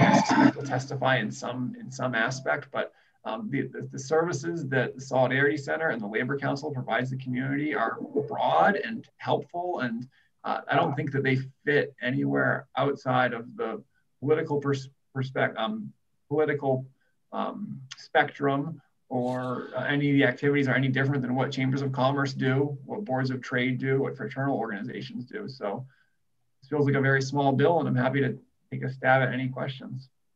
Does anyone have any questions for Mr. Good? Seeing none, thank you very much. Uh, uh, next up is um, Jack McKay from Brewer, and following that will be Jeff McCabe from the MES, MSEA. Great, thank you. Good afternoon, uh, Senator Chipman, uh, Representative Terry, and members of the Joint Standing Committee on Taxation. Um, I'm president of the Eastern Maine Labor Council, and I have been for nearly 20 years, uh, which has 34 affiliated unions representing over 5,000 workers in Eastern Maine. Our mission is to improve the lives and working conditions of our members and all working people in our region. On behalf of the Eastern Maine Labor Council, um, I wish to testify in support of LD 198. Um, LD 198 would rectify gross inequity. Central Labor Councils play a similar role as chambers of commerce, and as such, help level the playing field between workers and management so that we can have a vibrant, equitable economy with shared benefits for all. However, the playing field is seldom fair, and Maine's property tax exemption tilts that playing field in favor of management through property tax exemptions. Currently, chambers of commerce and boards of prey are exempt from property taxes, while central labor councils are required to pay. Um, and I think, you know, there's no like frightening door that might be opened on this. Central labor councils are very resource poor. Um, none of us has paid staff. Uh, our property taxes, which are just under $3,000, constitute about 10% of our total revenue. Um, and, uh, you know, we certainly don't mind paying our taxes, uh, but then chambers of commerce should do as well. or if they don't have to, then we shouldn't have to. Um, and as, as Adam said earlier, we do a number of uh, uh, programs to support the community. Um, in addition to the Thanksgiving baskets, which we raise roughly $60,000 that in turn goes to local food producers to provide Thanksgiving meals to people in our community, as well as throughout the state of Maine, uh, which is gifted. Uh, we have a greenhouse on the side of our building, which provides seedlings to over 350 families throughout Bangor and Brewer at uh, low income housing uh, uh, facilities. And this is all gifted and volunteer run. Um, we also do a number of uh, educational programs. We have a legislative forum, which we're very happy has both Republicans and Democrats attending for over 15 years. Um, and we see LD 198 as basic fairness. Um, and we're very much in support of it. I'll be happy to ask any questions about the Eastern Maine Labor Council um, or other central labor councils for that matter. Anyone have any questions for Mr. McKay? Seeing none, thank you very much for your testimony. Appreciate it. Thank you. Excellent. Uh, next up is Jeff McCabe of the MSEA. Good afternoon, folks. Senator Chipman, Representative Terry, members of the Committee on Taxation. I am Jeff McCabe, and I serve as the Director of Legislation and Politics for the Maine Service Employees Association, Local 1989. Uh, it's great to be here with the committee today. Uh, we are a labor union representing over 13,000 workers and retirees statewide. Uh, we are here today in strong support of LD 198. Uh, you probably also received some testimony at some point in time from one of our uh, board members who is a uh, DOT worker and very active with the Labor Council and uh, had hoped to be here today, but it is a season where they are plowing. And I imagine he had a busy night last night. So uh, here, sort of pinch hitting, but also happy to share some stories. You've heard a little bit about uh, one of the Labor Councils and uh, such a unique opportunity that the Labor Council provides and uh, really making a difference statewide and across uh, the region, no doubt. Uh, my trips to the building that houses the Eastern Maine Labor Council have been for education, social gatherings, and events addressing food insecurity issues. Every time I've been there to an event at that location on the banks of the Penobscot River, I have seen young people and older folks all pitching in to make things happen and to support the community. I've talked with staff, interns, volunteers, and others. Uh, several years ago, I drove to the Labor Council building just before uh, Thanksgiving, and I loaded my SUV with food. Picture for a moment, if you will, uh, turkeys, potatoes, cranberry, baked goods made by the community college system, and so much more. All the seats down in my SUV and just uh, room in that SUV for the passenger and driver. We drove that food to Machias to meet workers who had been laid off when the Down East Correctional Facility had closed the previous winter. Driving up there that day, we knew that we had homes for some of the meals. We had, after all, called the workers and families. Each time we described uh, the Solidarity ha Harvest Program, uh, we talked with folks and uh, said union members and others are helping workers, not with charity, but with solidarity. We hope they'd understand. We arrived, we set up a folding table in the parking lot in Machias, just outside Helens, and we sat there waiting for a short period of time. We we're reunited with many of the laid off workers, workers that some of you here today in the committee had met. We were met with hugs, tears, and we distributed a couple dozen Thanksgiving baskets that day.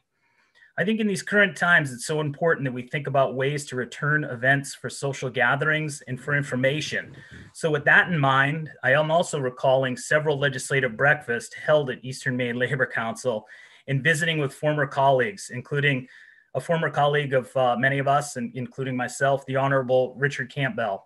He felt it was always important to attend the Labor Council breakfast, and he looked forward to it each year. And uh, I, I, just remember several times standing in the back of the room with him or outside in the parking lot as we talk with folks uh, about that event and about the important programs that occur here. Last fall, my son asked my wife and I when we were planning to go to Brewer to volunteer to sort food for the Solidarity Harvest, something we've done as a family several times before. I had thought, you know, originally we probably wouldn't go because of COVID. And then I quickly learned that it was something that we could do as a family, socially distanced outside and being safe. It was a real special moment for us, uh, considering the last year has just been so disruptive for my 12 and 15 year old. And we went and we spent a morning up there packing solidarity, solidarity harvest baskets. Um, it was really a great opportunity and it provided my children an opportunity to to engage and have some level of normalcy. Uh, when you get my written testimony today you'll see just sort of how big that effort was. Uh, this year was the 18th annual solidarity harvest and that was something that uh, provided over 1400 thanksgiving meals. I've always been struck with um, you know the overlap of these programs not only with labor, but other community groups, faith groups, and so many more who've stepped up to help laid off workers. And this year, especially during um, a time when so many folks were laid off due to the pandemic. I'm happy to answer any questions, and I look forward to seeing this committee uh, again in the future. Thank you very much, Mr. McCabe. Does anyone have any questions? Seeing none, thank you very much for your time. Um, anybody, uh, doesn't look like we have anybody else uh, in favor of. We have uh, next up Kate Dufour from MMA uh, um, as an opponent. Representative Terry and members of the uh, Taxation Committee. My name is Kate Dufour and I'm here on behalf of the Maine Municipal Association to oppose LD um, 198 um, want to say we do agree with uh, the proponents of the bill that it's important that all types of organizations are treated fairly. Uh, we certainly agree with Mr. McKay with respect to maybe we need to reevaluate uh, who is exempt in the state. Because if you look at the growing ranks, it seems that in particularly in some communities, the value of the exempt property is outpacing that of taxable property. And you need just look to your service center communities and your poorer service center communities like Lewiston. So there, there is an issue here where we have a system that requires municipal government services to be funded primarily with property tax um, dollars. Yet there are influences that dwindle those property tax dollars that are available. And so we think it might be time, rather than having these perpetual discussions about who is, is worth or who's not worth an exemption, because as you heard today, they clearly do good work for the communities, but it's still coming at a cost when we start to do these exemptions to every other property taxpayer that's out there. I mean, the remaining property taxpayers are dwindling.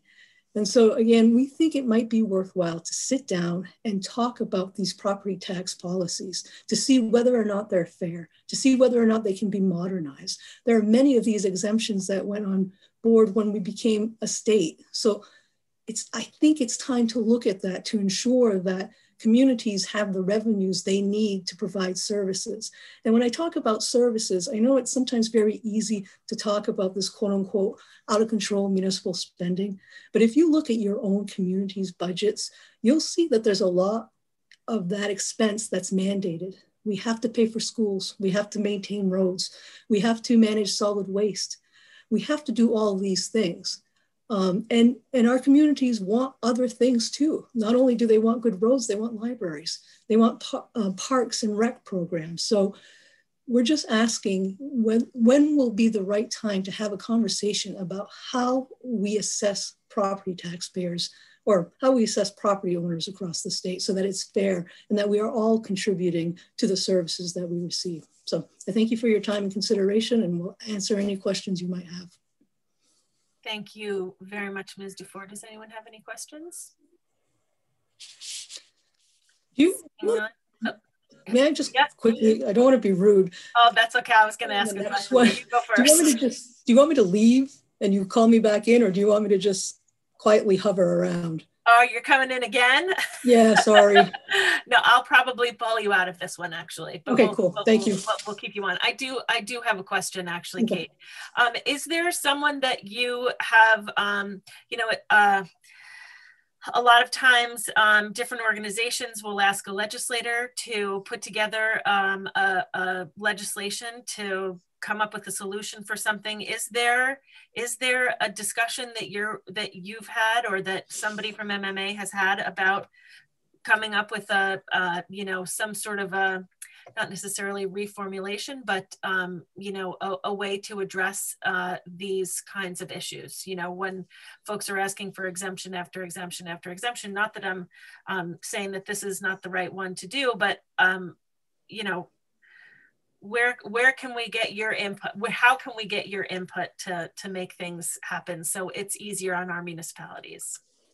We, we've, I mean, opportunities like this are, are good just to, to explain the our point of view it's not that we're anti-exemption or anti any you know profit it's just just to bring some sort of awareness that there's a cost associated with the exemption that is borne by remaining property taxpayers so more directly to your point we we have had conversations in the past we've engaged in uh, working groups but like you know like any good working group you develop a really good product and then it sits on a shelf and collects dust. So we've been the victim of shelving, I'll, I'll say.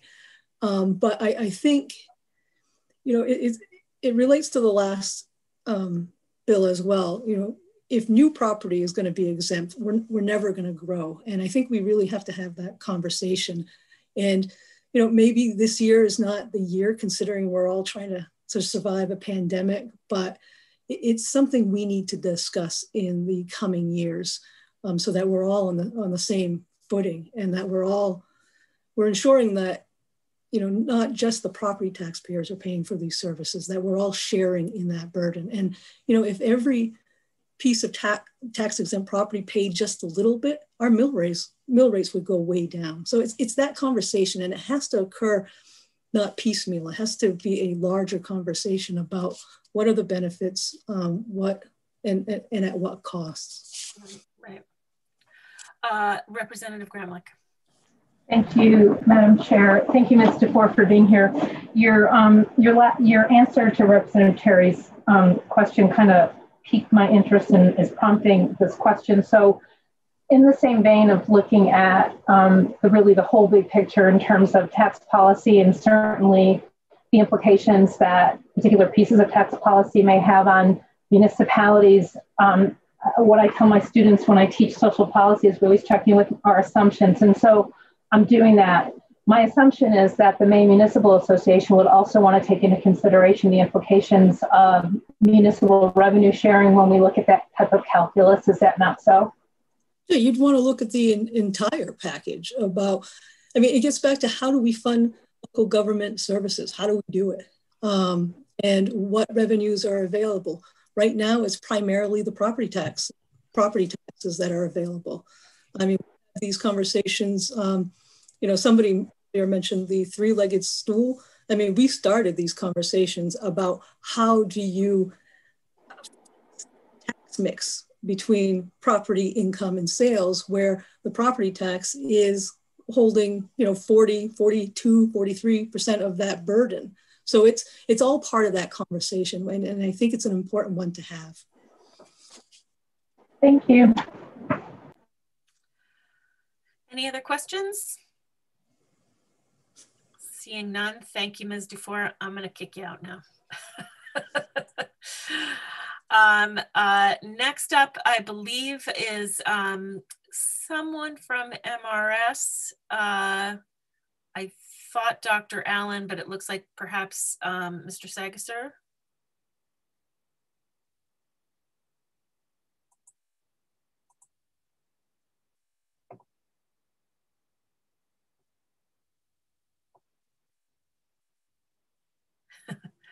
I hope I didn't catch you off guard, Mr. Sagasser. On here. Um, you're, I, am sorry, I had to leave and come back. Are you, you're addressing LD 198, is that correct? Correct. Oh, and it looks like Dr. Allen is here. Yes. So you might be off the hook. I don't believe we're testifying on this bill. Okay, thank you very much. I appreciate it. All right. Uh, and Dr. Allen, that is fact. You are not testifying on this bill, neither for nor against. I'm sorry. I, I, I, left and came back, so. So I'm so sorry. So I got a note that you were testifying neither for nor against for LD 198, but is that not the case? Did Mr. Sagasser just? He just said that we you were not. Uh, um, which one is this? The Labor Council bill? Correct. That that that is correct. Okay, my apologies. Thank you. Sorry, I may have read my text wrong. So back to lunch with you. okay, so uh, seeing that there are no other, um, there is no other testimony for LD 198, this hearing is closed on LD 198. Um, and next up is LD 351. Uh, uh, and um, Representative Foster, I believe, uh, is going to be presenting this bill. Uh, just let you in, Representative Foster.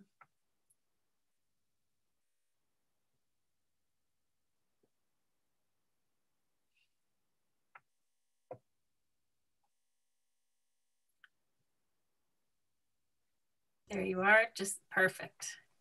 Nice to see you. Yes, good afternoon. we'll uh, try to uh, get through this as quickly as possible because I'm sure you folks are ready for lunch. It's been a long morning for you. Uh, first of all, I would like to uh, say good afternoon to Senator Chipman and uh, Representative Terry, distinguished members of the Committee on Taxation. Uh, one housekeeping matter, I believe you received a spreadsheet that I put together, which I'll refer to in my testimony here this afternoon. I am Steve Foster, State Representative for House District 104, which includes the towns of Charleston, Dexter, Exeter, Garland, and Stetson. I stand before you today to, to present and, and in support of LD 351, an act regarding municipal valuation and state-owned property. During the 129th legislature, I was asked by the Town of Charleston Select Board to review their situation regarding the inclusion of the state-owned Mountain View Correctional Facility in their total municipal valuation and to offer legislation should it be warranted. As a result, I'm submitting LD 351 for your consideration. In Title 36 MRSA subsection 651, a list of city and town property tax exemptions includes subsection 1B, the property of the state of Maine. This bill proposes that the exemption would be limited to an amount up to 10% of the total municipality valuation. Maine's 2019 Municipal Valuation Returns Statistical Summary lists the property tax information for our 487 towns. In regards to a municipality's total land and building valuation, which is the number that I used uh, in my research, state-owned property accounted for 1% or more of the total land and building valuation in 114 municipalities, 5% or more in 24, and 10% or more in only 14. I've included a list of those 14 municipalities with the testimony that I'm presenting. One of the 14 communities, Charleston, is home to the Mountain View Correctional Facility. This facility accounts for 52.9% of the town's total land and buildings valuation. Its 2020 valuation of $33,989,040 increased the town's net assessment for commitment by $545,524 to $1,016,421. Without it, the property taxpayers of Charleston would have paid $470,897. Unlike many of the other 14 towns where state owned property accounts for at least 10% of the total, Charleston receives little financial benefit from the property.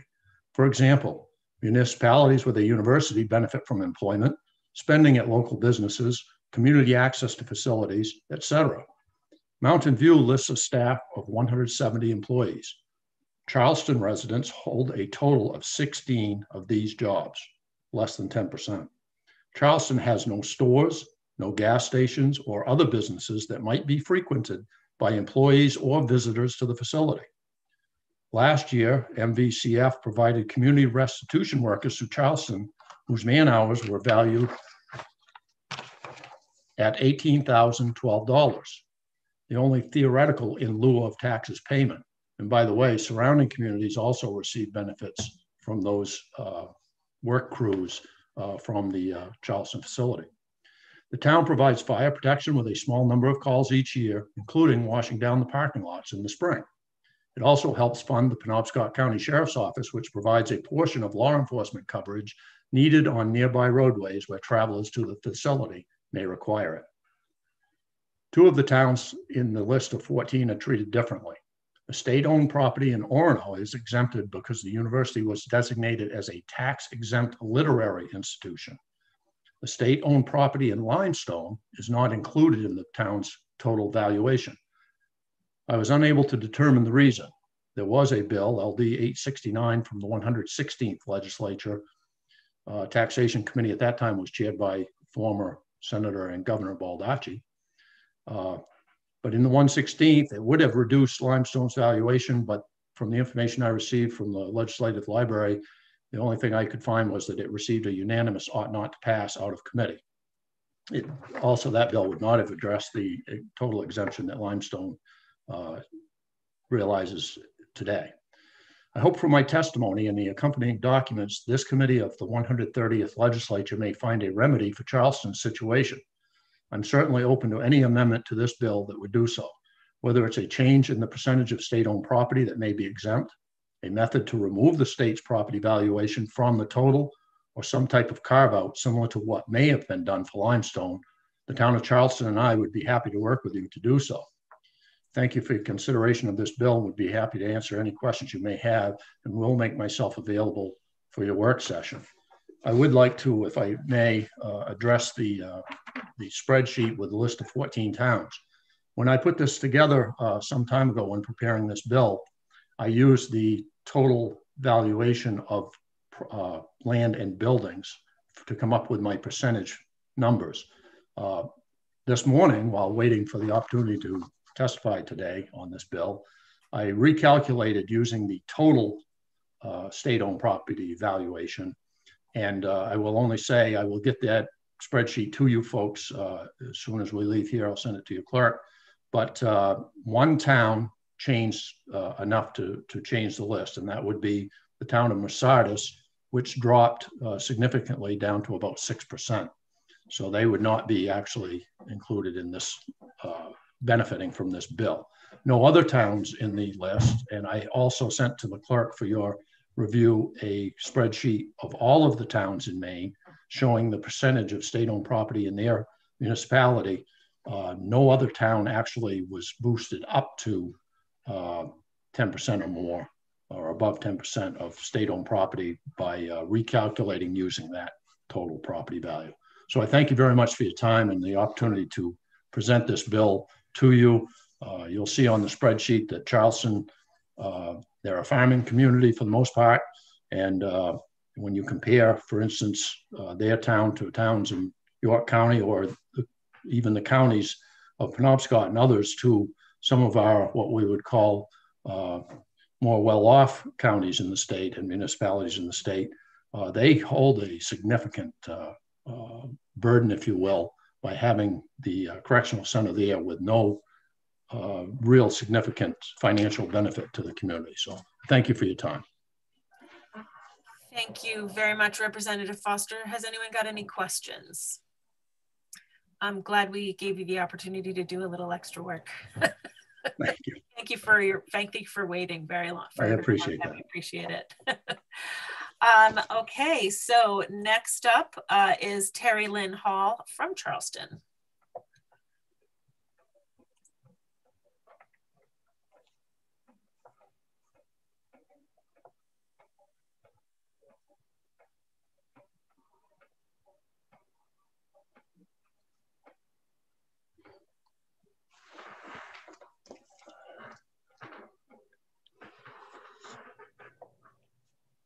Ms. Hall, you should be a, a participant, um, a panelist at this point, and uh, just will need to unmute your mic and start your video, or just unmute your mic.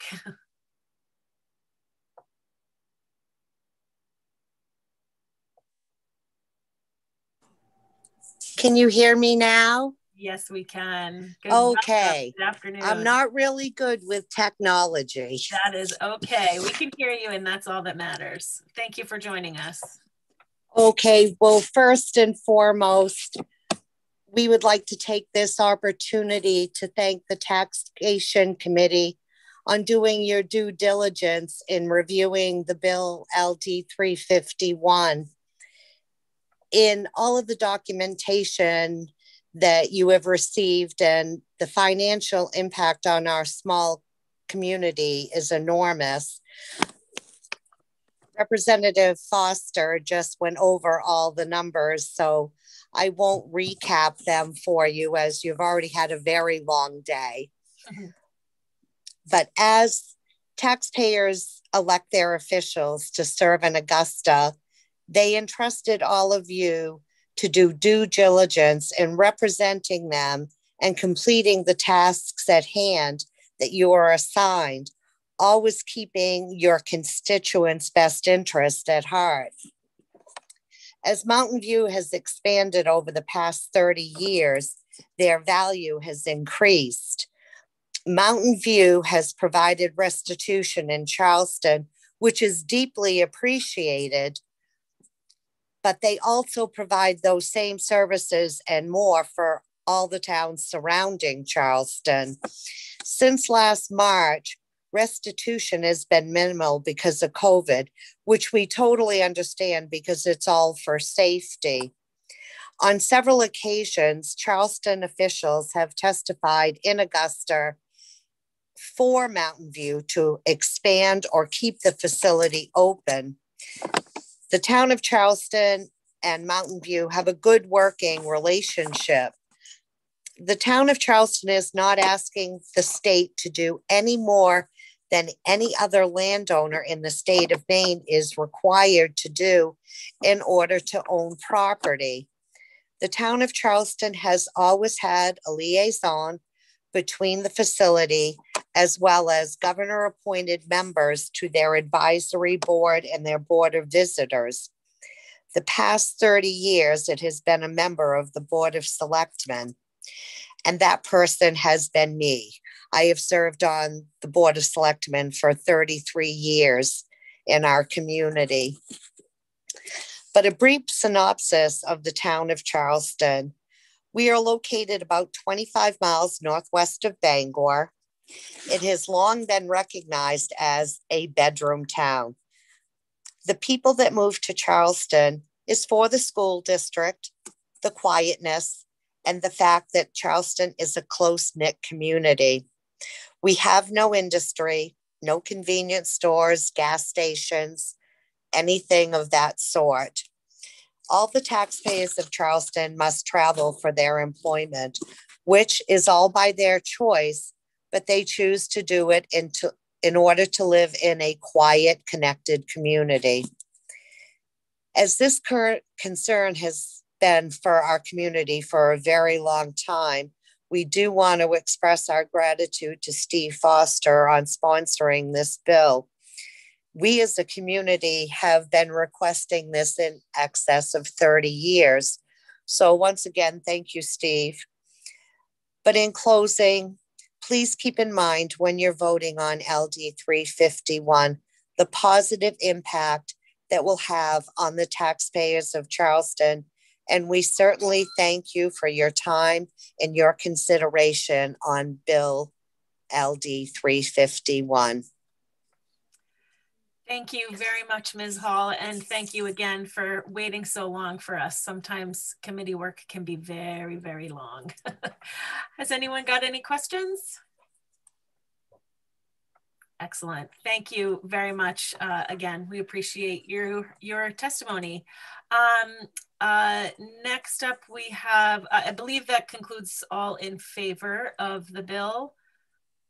Yes, great. Thanks, Avery. And um, so next up is uh, Mr. Sagasser from um, DAFS uh, in against the bill. And um, welcome again, Mr. Sagasser, and uh, apologies for bringing you in too early before. no problem. Let me just get set up here.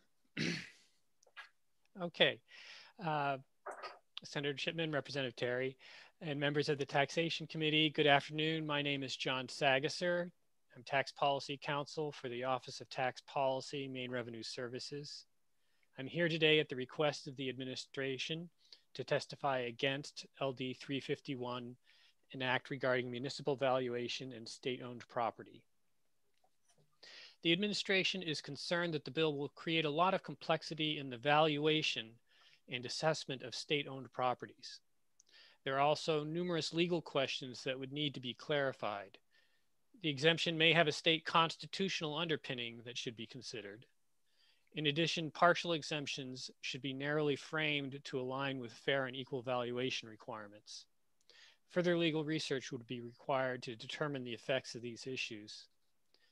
Consideration should also be given to the intended classes of property to be covered by the exemption, given the legal difference between the state of Maine and its various instrumentalities. Valuation of certain state property may be very difficult, leading to disputes and uneven application.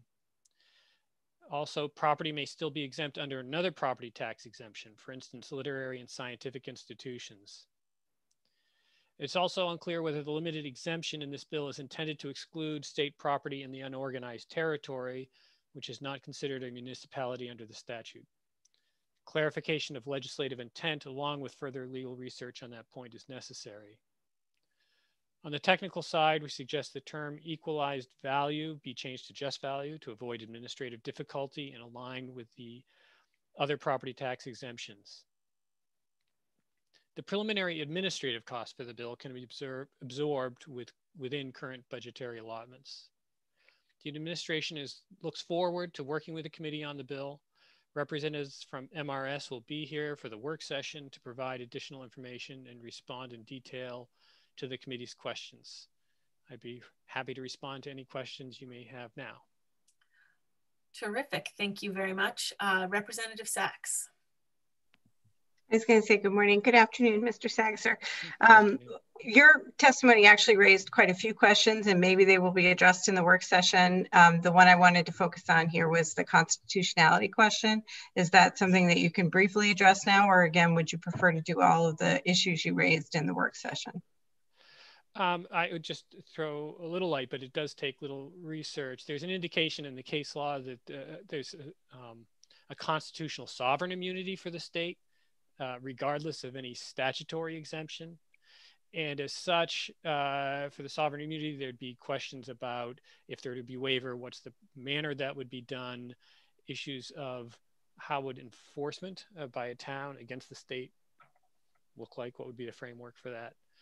So it, the basic point would be the constitutional immunity, sovereign immunity for the state itself from suit and actions. From paying property tax in this case. Uh, well, yes, in twofold. I, I, uh, as far as the tax, it, it being taxable, and also as to enforcement of a tax obligation. Okay, um, so I'll look forward to the work session for maybe some additional information. Okay. On your testimony, thank you. Uh, thank you, Representative Sachs. Any other questions for Mr. Sagasser? Excellent. Thank you very much for your testimony. You're free to join your lunch plate again. um, uh, okay, so that is it uh, for those against uh, testimony. Uh, with testimony, next up is uh, Kate Dufour from MMA, who is here to testify neither for nor against.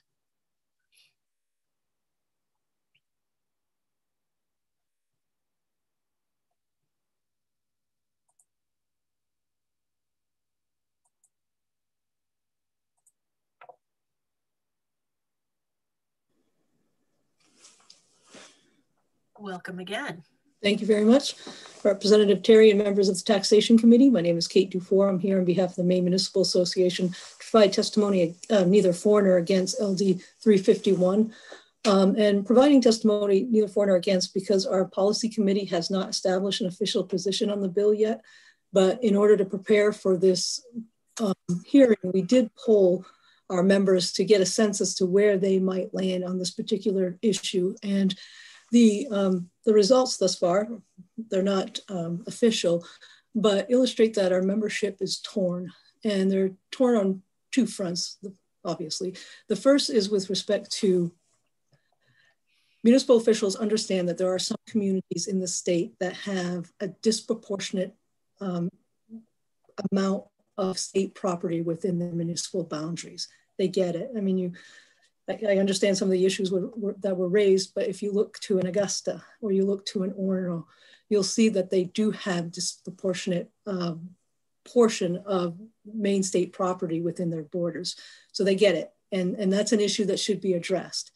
The, the concern is how will that get addressed? If the state is to, supposed to pay uh, taxes to a few communities, 10, a dozen, whatever it might be, how are they going to pay for those um, for, for those tax assessments. And the concern that the other side of the coin concern from our members is, will that come out of revenues that are already dedicated to municipalities? Are we gonna, you know, what's the phrase? Uh, rob Peter to pay Paul. And there's a concern that those revenues might come from the revenue sharing program, which are now being shared by all communities. So that's that's where we are at the moment on this particular bill the policy committee will be taking a full review of it on Thursday, and um, I'm happy to submit follow-up uh, testimony should you find that uh, valuable. Uh, is that this Thursday, Kate? It is. So you'll you'll be ready to come to see us at the work session with a little more info. Okay. I will. Yep. Terrific. Um, does anyone have any questions for Ms. Dufour? Excellent. Thank, Thank you. Thank you very much. Um, and uh, thank you again, Representative Foster, for sticking with us for so long. Um, you too are free to join your lunch plate. thank you. Thank you very much. Uh, and that uh, ends this public hearing for um, uh, LD 531. Uh, we have one last thing to go, uh, LD 149, right, Avery? 146 and um it was ld 351 that just said oh did i not say that? I'm sorry. 531 it's okay. Sorry i have just the littlest bit of dyslexia. Not a joke. Um okay uh let's see. So um uh ld1 we have uh peter lacey excellent. Thank you so much. Uh, Mr. Lacey, thank you for joining us. And again, thank you for staying so long. Um, uh, LD 146 has to do with the unorganized territory, correct? You're all set, Mr. Lacey, whenever you're ready. Thank you. Uh, so Senator Chipman, Representative Terry, members of the Taxation Committee, good morning. My name is, or afternoon now, I guess. Sorry, I prepared uh, testimony earlier. Uh, my name is Peter Lacey. I'm Director of the Property Tax Division at Maine Revenue Services. Um, I'm here today at the request of the administration to testify in support of LD 146, the resolve authorizing the state tax assessor to convey the interest of the state in certain real estate in the unorganized territory. So this is an annual agency bill uh, being proposed, which allows the state tax assessor to sell properties that were acquired by the state through the tax lien process. So Title 36, Section 1283 requires that the state tax assessor report to the legislature all property in the unorganized territory that has been tax acquired by the state and after authorization by the legislature to sell that property. Uh, this resolve is a statutory step in that process. Uh, the properties listed in the resolve were acquired by the state through foreclosure of tax liens for non-payment of property taxes. None of the properties, I will note, none of the properties included in this resolve are occupied homesteads. This process is a routine element of unorganized territory tax administration, and the administrative costs can be absorbed within the current UT budget. The general fund is reimbursed from the unorganized territory education services fund for the costs of property tax administration in the unorganized territory. Uh, I will note we're requesting one minor amendment to the bill to reflect some corrected numbers related to one of the properties contained in the resolve. Um, I believe that was sent to Avery earlier, so you hopefully should have it. Um, the administration looks forward to working with the committee on the bill. Representatives from MRS, including myself, will be here for the work session to provide additional information and respond in detail to the committee's questions. Uh, I would be more than happy to respond to any questions you may have now as well. Thank you, Mr. Lacey. Uh, uh, just for, for new members to the committee, um, uh, this is something that we see every year. We are um, part of the um, uh, I guess one of our functions is to make sure that everything in the, we're sort of the tax assessor, I guess not really tax assessors, but we're part of the um, uh, group that makes sure that everything in the UT gets done as a municipality would do. Um, so going through this list, um, which we actually received quite a while ago, you all should have received this in your emails. I'm gonna say at least two weeks ago. Julie can probably um, tell us a different date if that's if that's not correct. Um, but my question always is, is there somebody living in these homes? And Mr. Lacey, you seem to have addressed, addressed that already, that these are all um, unoccupied at the time, at the moment. Um, so my only question is, have you had any um, uh, discussions or disputes with any of the property owners uh, in any of these properties uh, over the course of the year? Um, I mean, we we spend quite a bit of time reaching out to these taxpayers and um, uh, attempting to you know work them with payment plans and get them on track. Um, no, we are not currently. A lot of them are ones that we cannot find. Cannot find the property owners. Correct. Okay. Gotcha. Anybody else have any questions for Mr. Lacey? All set. Thank you very much for your testimony. And, Thank you very much. Uh, Avery, do we have anybody else uh, on the list who would like to speak neither for nor against? Nope. All right, terrific. Then uh, we are all done. That closes the public hearing on LD 146. Um, I have nothing. I'm too hungry to think. Does anybody have any any last minute thoughts on the day? I move we adjourn. Second. Excellent. Noted. Uh, this uh, meeting